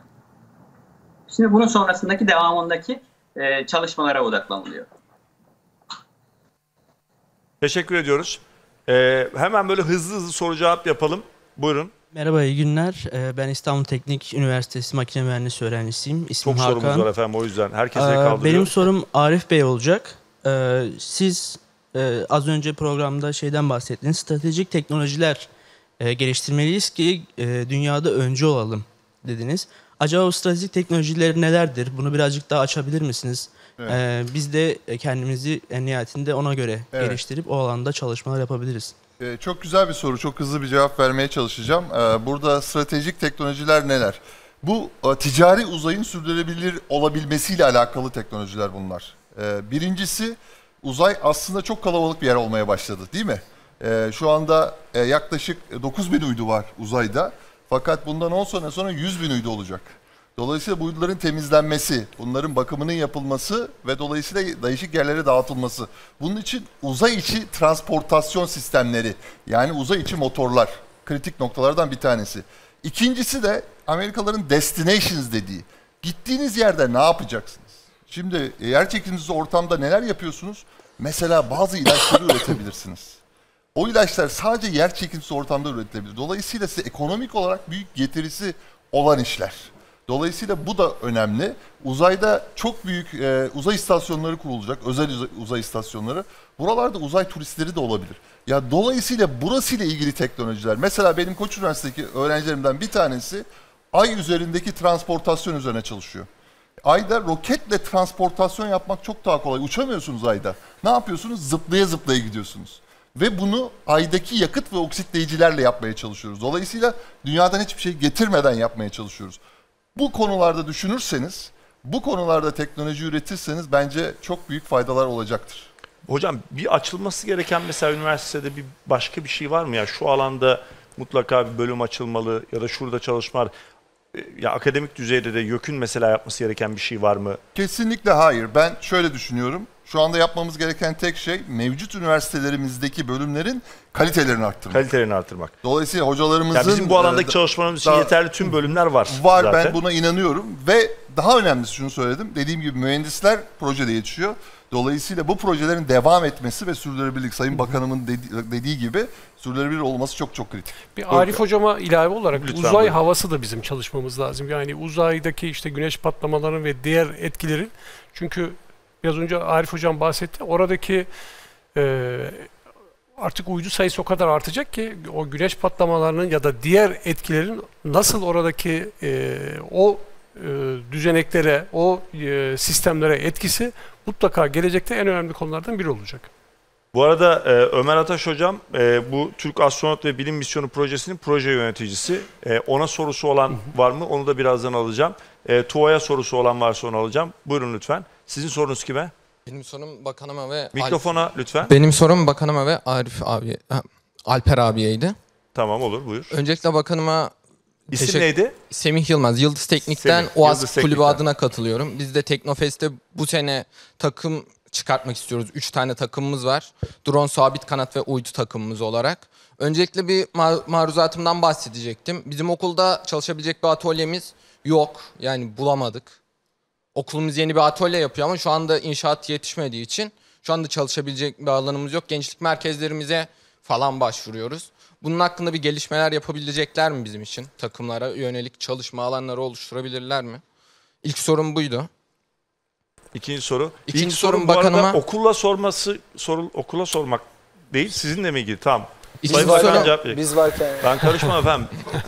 İkinci sorum bir bak bakanımıza bir sorum daha var. AYAP projesi en son tasarım aşaması geçmişti. Alper'e, Alper Gezer Avcı'ya demiştin. Evet ona da var. Ha, ona sor hemen Evet. öyle Ha, üç tamam. tane soru almayalım.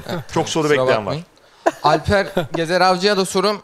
Güneş patlamaları o uy şeyle istasyonlarda çalışırken ne kadar etkiliyor bir çalışmaları, laboratuvarları gelecek Güzel. Bu güneş patlamaları da bu arada hiç konuşamadık. Ee, çok bu gelecek bir gündemde. iki yıl içinde büyük bir güneş patlaması bekleniyor ve Türkiye dünyadaki teknolojik elektronik aletlerin de bundan etkilenmesi bekleniyor. Bu uzay istasyonları bunlardan etkileniyor mu? Bir sorum da buydu. Teşekkürler. Efendim çok siz buyurun. hızlı, Sonra çok hızlı hızlı cevap vereceğim. Çok e, vakit daralıyor. Arkadaşlarımız da sormak istiyorlar sorularını. E, önce o Mehmet Akif Bey'in yarım bıraktığı o ay e, programı ile ilgili küçük bir tamamlama yapayım. Yani soruyu sordurmadı size ama yani o 2023 için hedeflediğimiz projeye biz devam ediyoruz ve nihayetinde Türkiye Ay'a erişecek. Kendi milli hibrit roket motoruyla erişecek.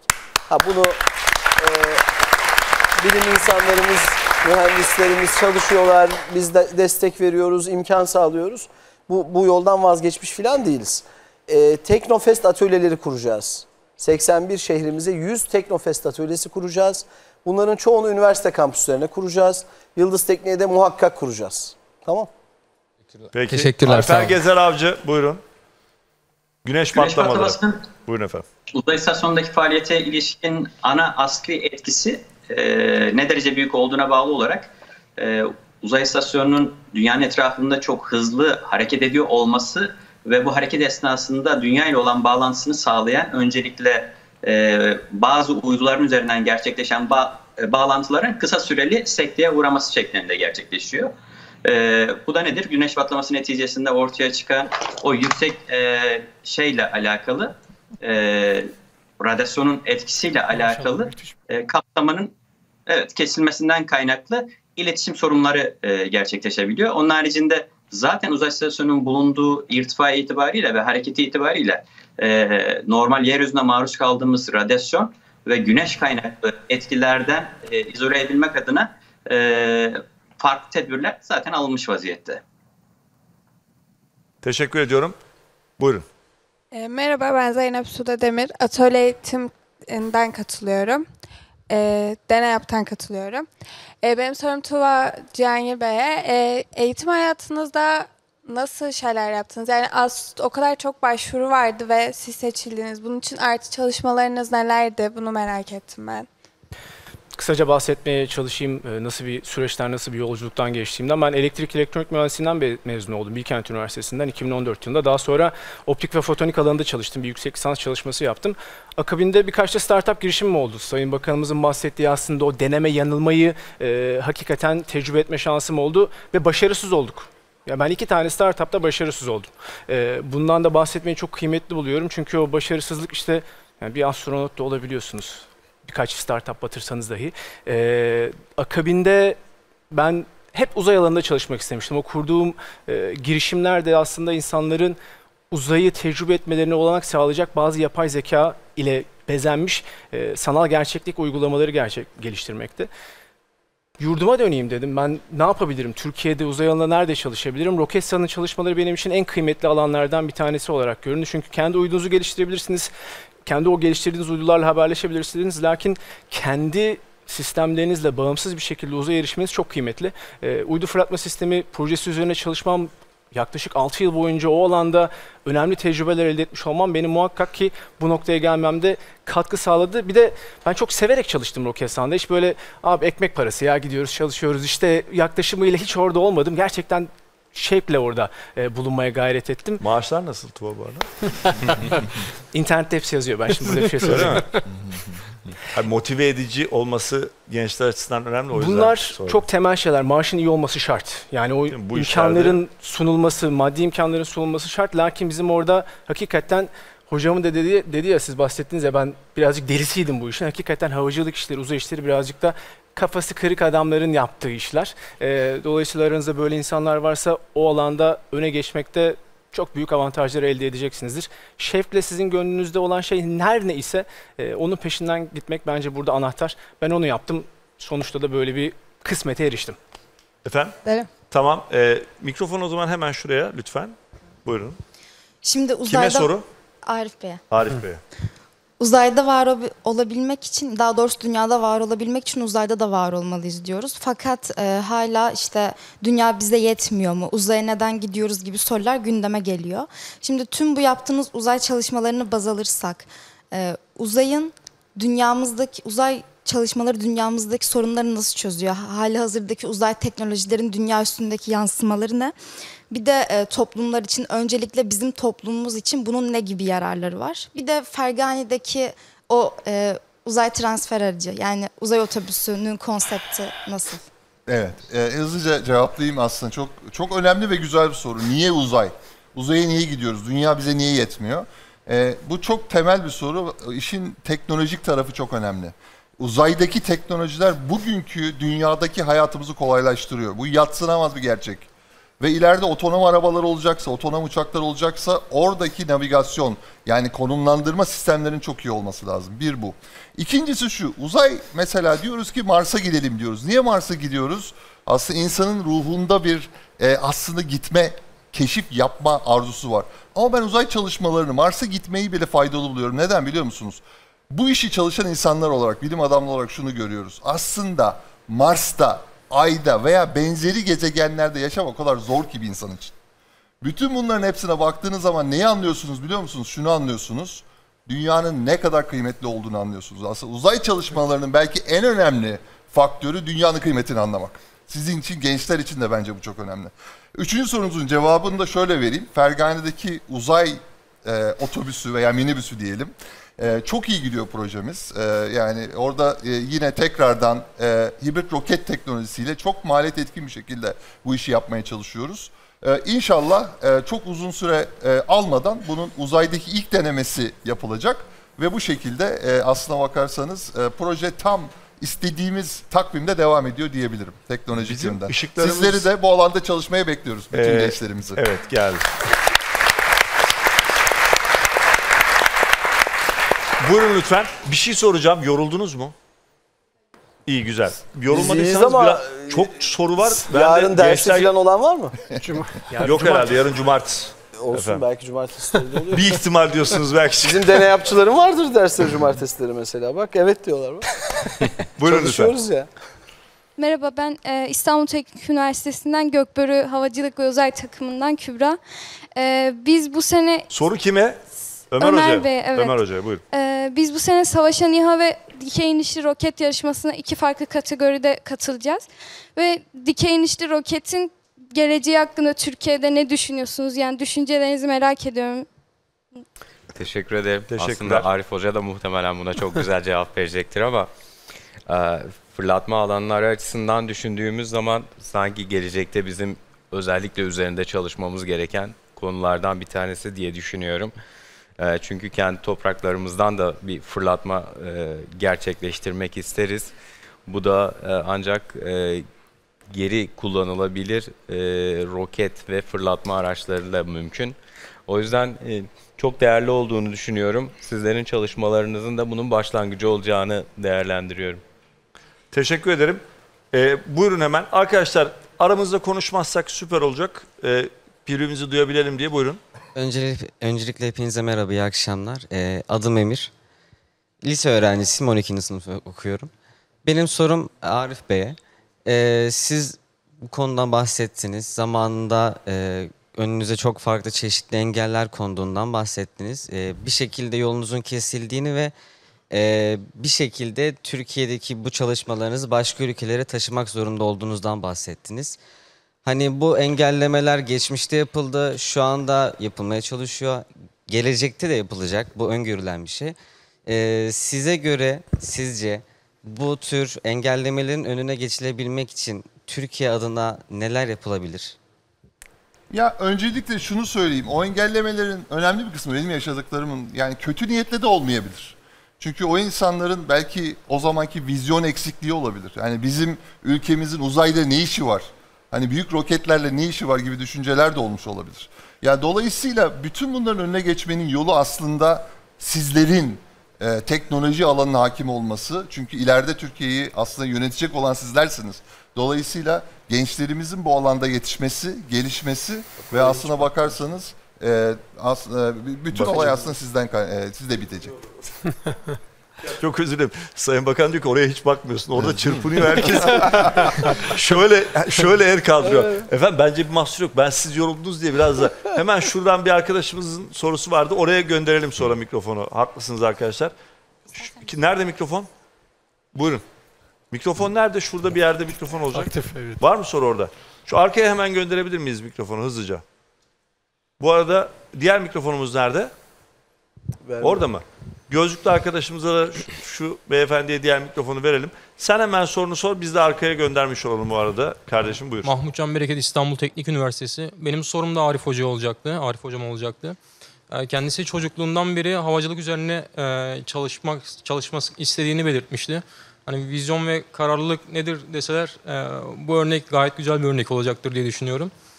Şimdi lisans seviyesinde özellikle lisansı bitirmeye yakın olan öğrencilerde kendimde de şu problemi görüyorum ben.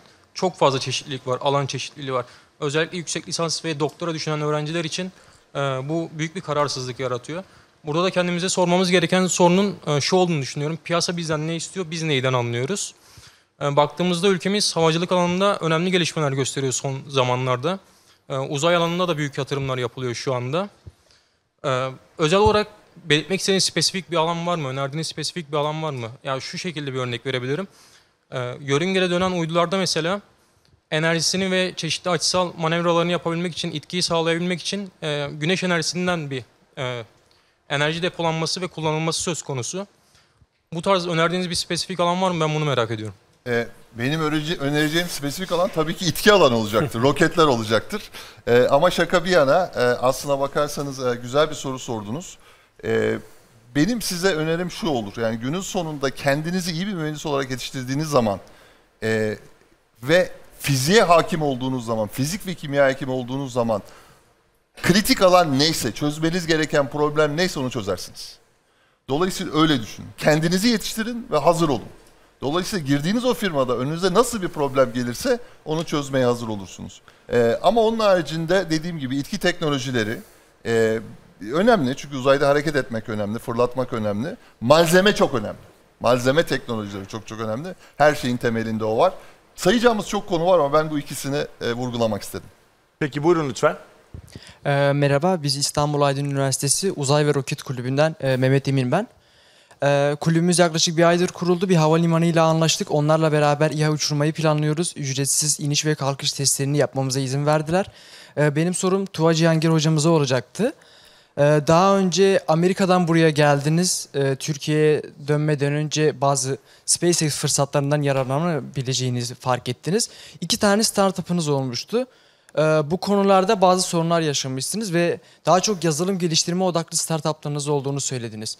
Bu startupların nasıl gelişip bittiğini aslında biraz merak ediyordum. İkinci olarak da e, bundan iki yıl önce Teknofest yarışmasına katılmıştık, roket yarışmasına. E, Teknofest komitesine roketlerimizin dikey inişli bir şekilde inebileceğine dair yazılım geliştirebileceğimizi iddia etmiştik. Yazılımcı olarak ben görev alıyordum. Fakat komite buna izin vermiyordu. En azından şu an roket yarışmasına katılabilecek arkadaşlarımıza böyle bir izin verilmesi açısından Teknofest komitesine de buradan seslenmek istiyorum.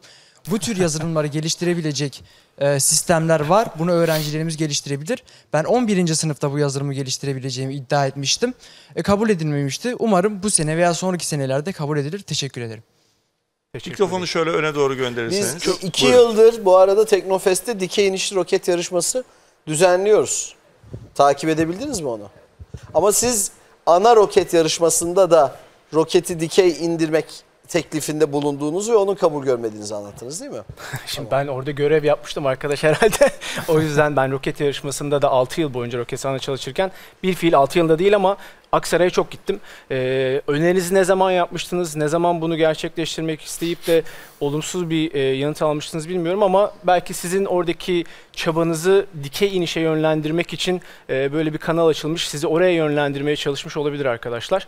E, ama asla roket yarışmasının içerisinde de yeniliğe, bir şeyleri daha farklı yapmaya karşı değiliz. Bizim benim orada çocuklarla, gençlerle böyle etkileşirken hayalim hep şu anda o roketler yaklaşık 6-8 kilometre irtifaya kadar çıkıyor. Hiç fena bir irtifa değil. 6-8 kilometre irtifa.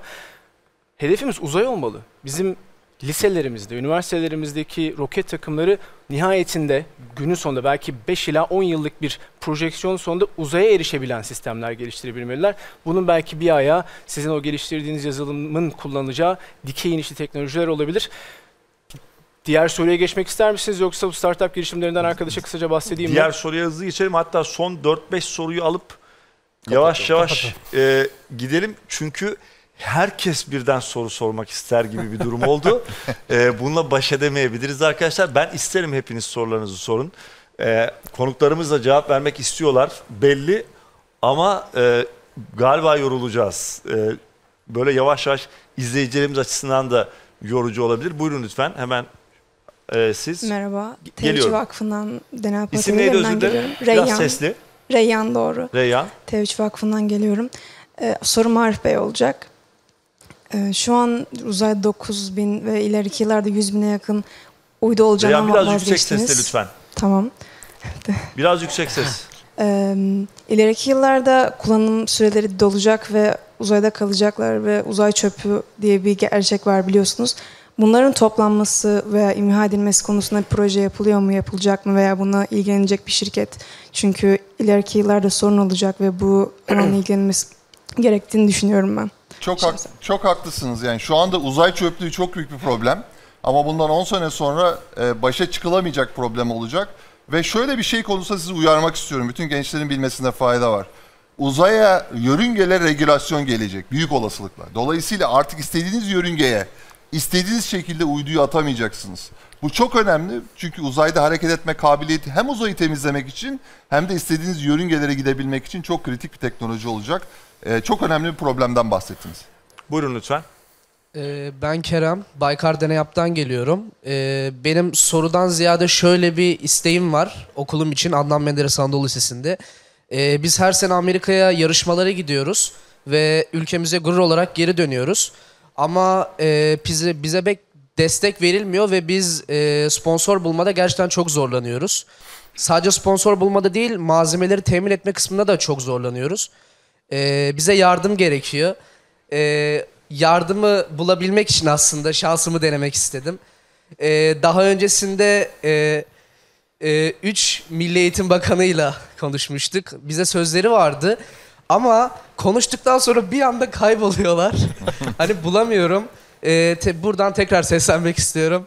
Gerçekten Peki, yardıma ihtiyacımız ediyorum. var. Sor, şuraya mikrofonu uzatabilir miyiz? Sayın Bakan buyurun efendim. Üç Milli Eğitim Bakanı ve bir Bilim Sanayi ve Teknoloji Bilim yok pardon Sanayi ve Teknoloji Bakanı. Teknofest yarışmalarına katıldınız mı?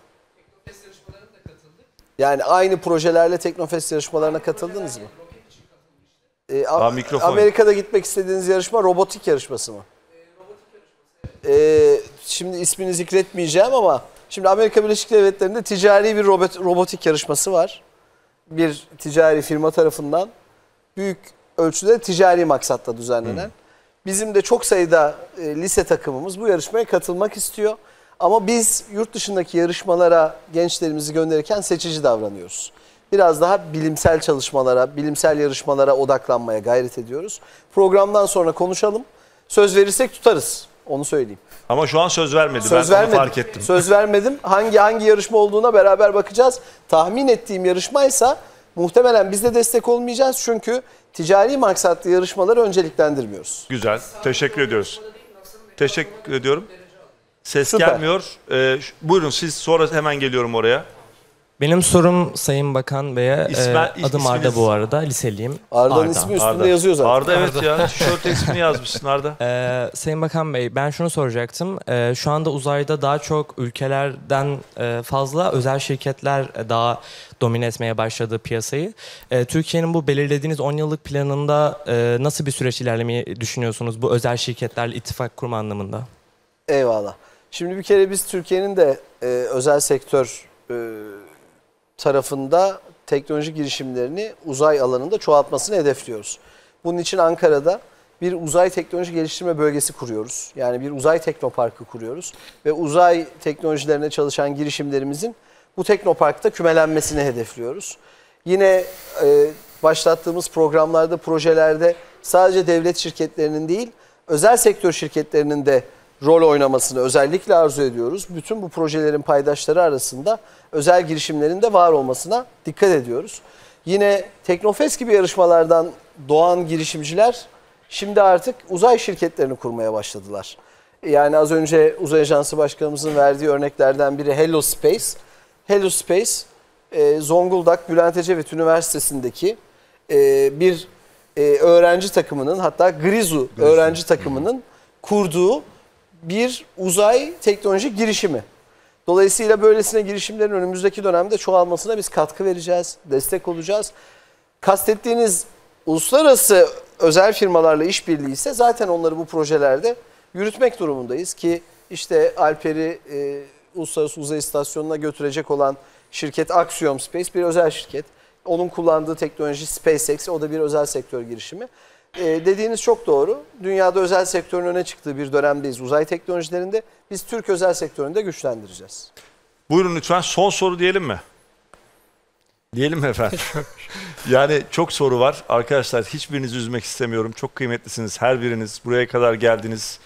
Ee, bu kadar vakit bizimle oturdunuz. Bir tane de benim için bir tane de soru alacağız. Beyefendiden alacağız. O zaman Herhalde şöyle yapalım. Aramızdaki en genç o diye düşünüyorum çünkü. Aa kim? Hangisi? Evet. Onun uyumuş olması lazım. efendim şu an. Buyurun lütfen. Merhaba, e, ben Umutcan. E, Yıldız Teknik Üniversitesi Yıldız Roket takımındayım.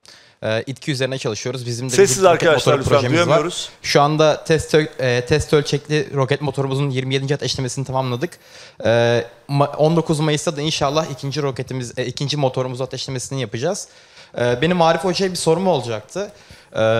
E, hibrit roket motorlarının literatürde e, sıvıya göre performans olarak yani verimlilik olarak bir dezavantajları var mevcutta. Ee, ancak sıvıların çoğu çalışması geçmiş yıllarda özellikle işte 60'larda 80'lerde tamamlandı. Hibritlerde şu an güncel olarak gelişmeler devam ediyor ve performans iyileştirmeleri devam ediyor. Ee, sizce e, hibrit roket motorlarının performans olarak sıvı yakıtlı roket motorlarını yakalama şansı var mı? Veya e, yaklaşma şansı var mı? Nasıl değerlendiriyorsunuz? E, bayağı güzel teknik bir soru sordunuz. Ben de tam konum olduğu için size güzel bir cevap vereyim. E, e, hibrit roketlerle e, aslına bakarsanız sıvı yakıtlı roket motorlarının performansı hidrokarbon yakıt kullandıkları sürece birebir aynıdır. Teoride de aynıdır, pratikte de aynıdır. Yanma verimini sağlayabildiğiniz sürece. Sıvı yakıtlı roketlerden bir tanesi her şeyden üstündür. O da hidrojen yakanıdır. Ama hidrojen yakan sıvı yakıtlı roket motorları o kadar pahalı ki dünyada kimse o yöne gitmiyor. Dolayısıyla mevcut pratik durumda hibritlerin performansıyla sıvıların performansı yaklaşık aynı diyebiliriz.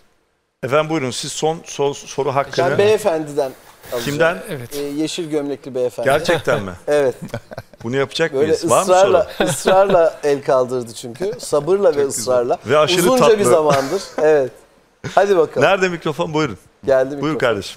Ee, ben bir tek merak ettiğim bir konuyla ilgili... Sen ayak... Aa görünüyoruz tamam. Görünüyormuşsun zaten. tamam. Ben merak Senin ettim. ismin neydi? Ee, Kaan. Kaan kaç yaşındasın? Ee, 12. 12. Ya çok daha küçük görünüyorsun sen. Yok yok. İyi Değil mi? Çok iyi. Hayır çok güzel yani. Çok böyle daha genç görünüyorsun. Aa nasıl?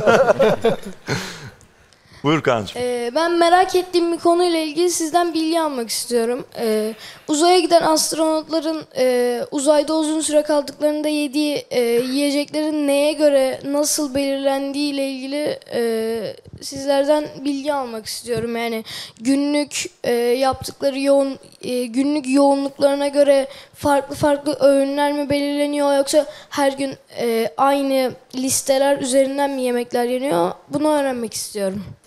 Yusuf Emir bak. Alper'e soracağız herhalde. Alper'e bunu. Çünkü o herhalde Güzel. o yemekleri falan çalıştılar onlar. Evet. Alper Gezer Avcı duyabildi mi soruyu bilmiyorum ama. Duydum. Buyurun Duydum. lütfen. Evet. Ee, Nisan ayında Amerika'ya gelirken eğitim programımızın en başında planlı faaliyetlerimizden bir tanesi buydu. Uzayda yiyeceğimiz gıda ve içeceklerin hemen daha programın başlangıcı itibariyle seçilmesi. Ee, sevgili kardeşim Tuva da e, katıldı. 70 civarında yemek ve 30 civarında içeceği burada gıda mühendislerinin eşliğinde test ettik, denedik. Tercihlerimizi belirledik. Ve hemen sonrasında bu belirlenmiş olduğumuz e, yiyecek ve içeceklerin listesi e, üretim aşaması için e, NASA'ya teslim edildi. Zaten onların laboratuvarlarında onların e, gıda mühendisleri eşliğinde yapmıştık bunu. E, hazırlama sürecinin ardından da uzaya gönderildi. Şimdi oradaki yeme içme düzenimiz buradaki gibi 3 öğün. Arada da ihtiyacı olan ek gıda e, ihtiyacı duyan kim olursa gidip oradan e, planlı yiyecek Bunlar nasıl içecekler- yemekler peki? Ya bildiğimiz bizim yediğimiz yemekler gibi mi? Başka bir şey mi? Aslında bizim e, yani burada tükettiğimiz gıdalar sadece alışık olduğumuz şekilde bir e, tabakta, bardağın içerisinde servis yapma gibi bir imkan olmadığı için artı e, oraya ulaştırılan gıdanın içerisindeki e, suyla taşınması ekstra bir maliyet olduğu için hem koruma hem de bu taşıma maliyetini düşürme açısından içerisindeki sudan arındırılıyor üretim aşamasının ardından. Yani bize aklınıza gelen günlük tükettiğimiz gıdaların aslında listesi verildi burada. Sevdiğimiz, sevmediğimiz e, her türlü Ne istediniz? e, gıda. Magazin sorusu olsun. Siz ne, sizin Ee, menü sizin menüyü alalım. Tuğan'ın menüsünü de alayım sonra. Şöyle menü geniş. Ee, bizim Türk mutfağı biliyorsunuz dünya çapında e, gurur duyduğumuz içeriği zengin bir mutfak. Bunu karşılayacak kıvamda olmasa da ona yaklaşabilecek kıvamda bir tercih belirledik. Ee, asli hedef günlük belirlenen kalori miktarını tutturmakta orada. Bir de sağlıklı beslenmek. Haliyle dünya üzerinde alışık olduğumuz fiziksel şartlardan e, farklı bir ortamda bulunduğumuz için biraz daha oradaki fiziksel ihtiyaçları karşılayacak yönde e, oraya hitap edecek düzeyde gıdalardı. Oraya ulaştıktan sonra da bu hazırlanmış program dahilinde tüketecek Alper, olduğumuz gıda. Ne yemek- Örnek- örnek Örnek yemek ne yemek istiyoruz. istediniz abi? Lahmacun. Güveç istedim. Neden bunu söylemek istemediniz? Güveç, Güveç mi? Güveç başka? Ee, yani sebze içerikli yemeklerimiz vardı bol miktarda. Abi siz ne istediniz? Bu niye bir sorun? Ben anlamadım. Çiğ köfte yok mu diyorsun? Yani siz ne istediniz? Menüde ne istediniz? Ya söylemek Şöyle- istemiyorsanız söylemeyebilirsiniz ama niye söylemek istemediğinizi söyleyin. Yok hayır herhangi bir kısıtımız yok. Sadece 70'e yakın liste uzun. Başlarsak şimdi e, çıkışta herkese sizin yemek- sıralamayı biraz alabilir miyiz? Birkaç tane merak ettim gerçekten. Birkaç tane yemek ve tatlı sıralama. E, çorba var içerisinde. E, Tamam. Mesela yani mercimek içerikli bir çorba var. E, onun haricinde dediğim gibi e, biftek tarzı yemekler var. E, farklı sebze içerikli, brokoli içeren, e, enginar içeren e, Sağlıklı beslenir. Sağlıklı çeşitli evet e, gıdalarımız var. E, içecek olarak gazlı içeceklerin hiçbirisi mevcut değil. Yine e, meyve içeriği yoğunluğu fazla olan içerik e, türleri var. Ben de çay kahve alışkanlığı olmadığı için o açıdan rahatım. Çünkü birlikte gittiğimiz ekibin en büyük endişesi kahvesiz orada ne yapacağız e, hususuydu. E, en azından bizde öyle bir sıkıntı derdimiz e, yok. E, yani ana içerikler aklınıza ne gelirse sunabiliyorlar orada. Peki teşekkür ediyorum. Şöyle bu, bu Tuğa'ya Tuğa yemek soralım. yemeyecekmiş ama soralım. Ama Yemek o da o, o süreçlerden hep geçtiler. Geçtiler. Yani şöyle ikisi de çok uzun bir zaman Uluslararası Uzay İstasyonu'na gidecek gibi hazırlandılar. Sonra iki ay kala artık Tuğa Alper'den ayrıldı ve Alper şimdi önümüzdeki günlerde de karantinaya girecek bu arada Alper. Ha, evet, yani hiç çok oraya geçemedi sohbetimiz ama Karantinada ne yapacaklar? birkaç gün sonra Alper tümüyle karantinaya girecek. Bilmiyorum kendisi anlatsın. Karantinada ne yapacaksınız? Mercimek içerikli çorba dediniz. Bunu unutmayacağım. O mercimek çorbası değil mi yani? Enginar içerikli yani brokoli içerikli. Çok sıvı değil. diye anlıyorum ben. Mercimek çorbası desem bizdeki tat birebir beklemek e, gerekiyor. Ya bizdekinin yerini tutmayacağı için mercimeğin içerisinde bileşen olarak bulunduğu onu anımsatan bir çorba diye. Eyvallah. Karantinada ne yapacaksınız efendim? Karantina Asya olarak e, Müdakip Bey burada dünya ortamında herhangi bir e, hastalığı oraya taşımama amaçlı. Onun için dünya ile iletişimimizi tamamen e, koparacak şekilde e, bir e, ayarlanmış olan bir tesisin içerisinde bize e, orada destek olacak doktorlar, teknik ekip ve çok kısıtlı sayıda ismi önceden belirlenmiş ve sağlık gereklilikleri, gerekli bütün aşıları tamamlanmış e, bir topluluktan ibaret olan e, 14 günlük bir süre. 14 Amaçta gün ne yapacaksınız karantinada peki? çok yoğun geçecek. Ha, Yani yine bir sekiz- şeyler yapacaksınız. Temas Tabii ki tabii ki 8 aydır. Aklıma korona yaptığı günleri geldi. Aşırı sıkıcıydı o yüzden yani. Karantina deyince biz geriliyoruz. Buyurun. Şöyle söyleyeyim Mehmet Akif Bey sıkılmaya zamanımız yok. Yani Çok çok, iyi. yoğun bir içerik olacak. 8 aydır yapmış olduğumuz bütün çalışmaların e, teori tekrarlarını tekrar e, yapacağız. E, onun haricinde fizyolojik olarak da fırlatmaya son 3 gün kala uyku ve yeme içme düzeni açısından e, fırlatmaya yönelik olarak farklı bir program uygulanıyor olacak. Fizyolojik olarak da bu hazırlığı yapmak açısından. Kaç saat uyuyacaksınız? Ee, öncesinde sleep shifting dediğimiz uyku düzeninin bir kaydırılması var. Planlanan fırlatma saatine yönelik olarak çünkü fırlatma e, eksi 7 saat önce uyanacağız biz. Ee, yine 8 saatlik rutin uyku düzenimiz ama bunu yaklaşık bir hafta öncesinden o fırlatma saatinde e, 7 saat öncesinde uyanacak e, düzene sokacak şekilde bir uyku düzenlememiz olacak. Burada jet lag olmak gibi şeyler var değil mi? Var mı? Evet. Olmasın Onlar diye önüne o düzene geçmek için. çok planlı girecekler. Ee, yolculuk ne kadar sürecek Alper? Sayın Bakanım şu anda e, dün gece gerçekten fırlatma sizin de bahsettiğiniz şekilde çok önemli bir fırlatmaydı. E, teyidimiz gelecek. Beklentimiz 20 saat civarında. Ancak e, son teyit bunlar gerçekleştirilen projenin fırlatmanın zaten doğasında var. E, en başında da dile getirmiştik 8 ay önce başlarken de. Tarih yaklaştıkça bu pencerenin e, kesinleşeceği tam zaman dilimi de belli olacak. 20 saatle 40 saat arasında bir seyahat süresinin olması muhtemel. Hangi gün hangi saatte gerçekleşeceğine göre. Tuah yemekler. Valla çok böyle bu arada yani. evet, et, sote, fajita hepinizin çok iyi bildiği böyle gerçekten dünya mutfağından, Türk mutfağından da e, Türk haşlama balık diye bir şey vardı mesela. Türk usulü haşlama balık. Türk usulü haşlama balık. Evet öyle enteresan Hamsi bir buğulama şey gibi bir şey. Hamsi değildi. e, Farklı bir balıktan yapmışlar ama umuyorum önümüzdeki misyonumuzda bu yemekleri bazı girdiler yapmak da mümkün. İnsanlar çünkü uluslararası uzay istasyonu. Herkes kendi kültürünü birazcık orada aslında temsil de ediyor. Önümüzdeki misyonlarda Alper abinin bahsettiği bizim gerçekten rakip tanımaz mutfağımızdan da bazı Ya örnekleri uzaya gerçekten döner istemediniz mi ya? Efendim? Döner istemediniz mi gerçekten? İsteriz yani. Gönül istemez mi ya? İsteriz tabii ki ama onların sunularında yok. Onların sunumunda döner Biz yok. ekleyebiliriz önümüzdeki yıllarda. Tatlı var mı? Var tabii çeşitli var? tatlılar var. Ya böyle pay işte Amerikan pastaları olur ya o tarz cheesecake'ler vesaire bizim Baklava çok tercih ettiğimiz şeyler değil. Baklava da ne yazık ki yok. O da olmalı. Kadayıf yok, baklava yok. Ya çok teşekkür ediyorum. Çok keyifli bir program oldu. Bir saniye ama çok özür dilerim. Olur mu bilmiyorum. Yapar mısın ama ben bu bayrağı sana e, vermek istiyorum bu Oo. yayında. Böyle çok küçük bir bayrak. E, Habertürk ailesi adına veriyorum. Eğer yanında götürebilirsen gizli saklı da olur söylemeden. Bayrağı gizli saklı Ve götürmek çıkarırsan olmaz. Büyük bir şeref de Habertürk'e tabii ki. Çok teşekkür Tabii ediyorum. ki, tabii ki. Harikasın. O zaman biz de Habertürk adına böyle e, bayrağımızı göndermiş olalım. Efendim çok teşekkürler. E, gençler çok teşekkür ediyoruz. Gerçekten sorularınızı e, alamadık ciddi bir kısmınızın. Ne olur kusura bakmayın ama galiba biraz yorulduk. E, herkese çok çok teşekkür ediyorum. Eklemek istediğiniz, bunu söylemeliyim dediğiniz bir şey varsa e, yani bir son söz hakkı vereyim herkese. Ondan sonra noktalayalım. Var mı? Buyurun. Ee, Ben şeye değineceğim. Ya mutlaka yap bir şey yapacaksanız felsefesini çalışın arkadaşlar. Yani bilim felsefesi ve bilim felsefe tarihi çok önemli. Ee, fizik örneğin fizik çalışanlar hocam daha iyi bilir.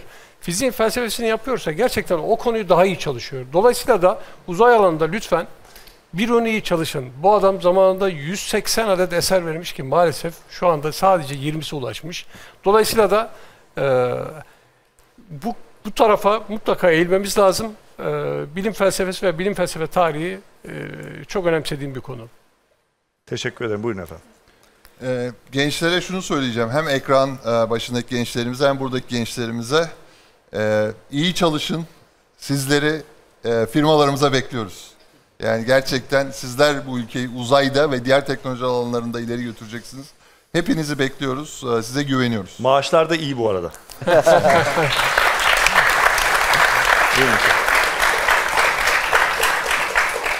Aa, fırlatmaya çok az kaldı. Ee, inşallah Türkiye Tır- saati... fırlatmaya çok az. Evet. Tırlatmaya az. Ee, Gibi gelsin. ayın 18'inde yine bu saatlere çok yakın e, uyanık kalıp fırlatmayı herkesin takip etmesini çok Fırlatma isterim. yayınlanacak mı canlı? Tabii.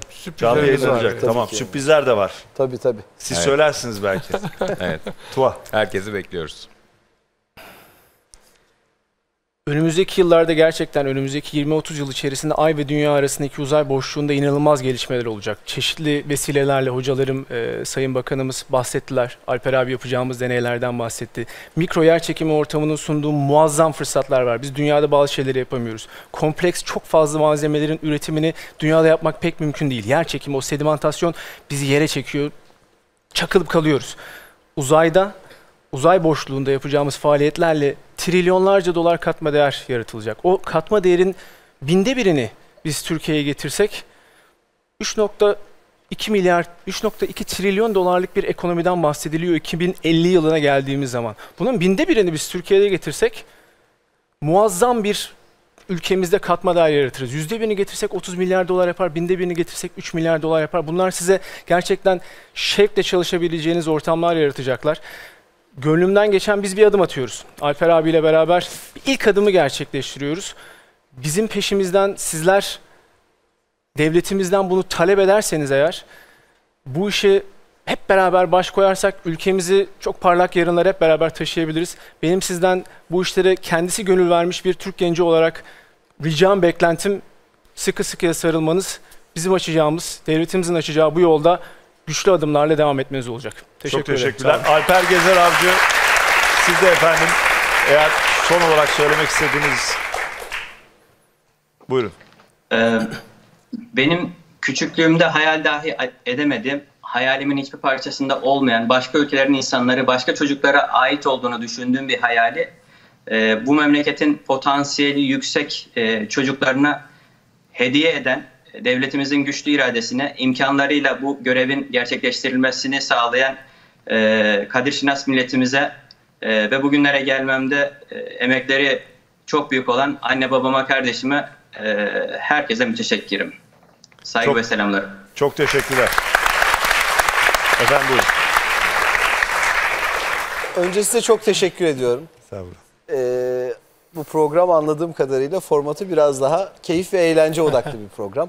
Her ne kadar bir haber kanalında Ama eğlendik olsak yine. E, eğlendik hem de Öğrendik. e, hem öğrendik hem eğlendik hem de çok keyif aldık. Eyvallah.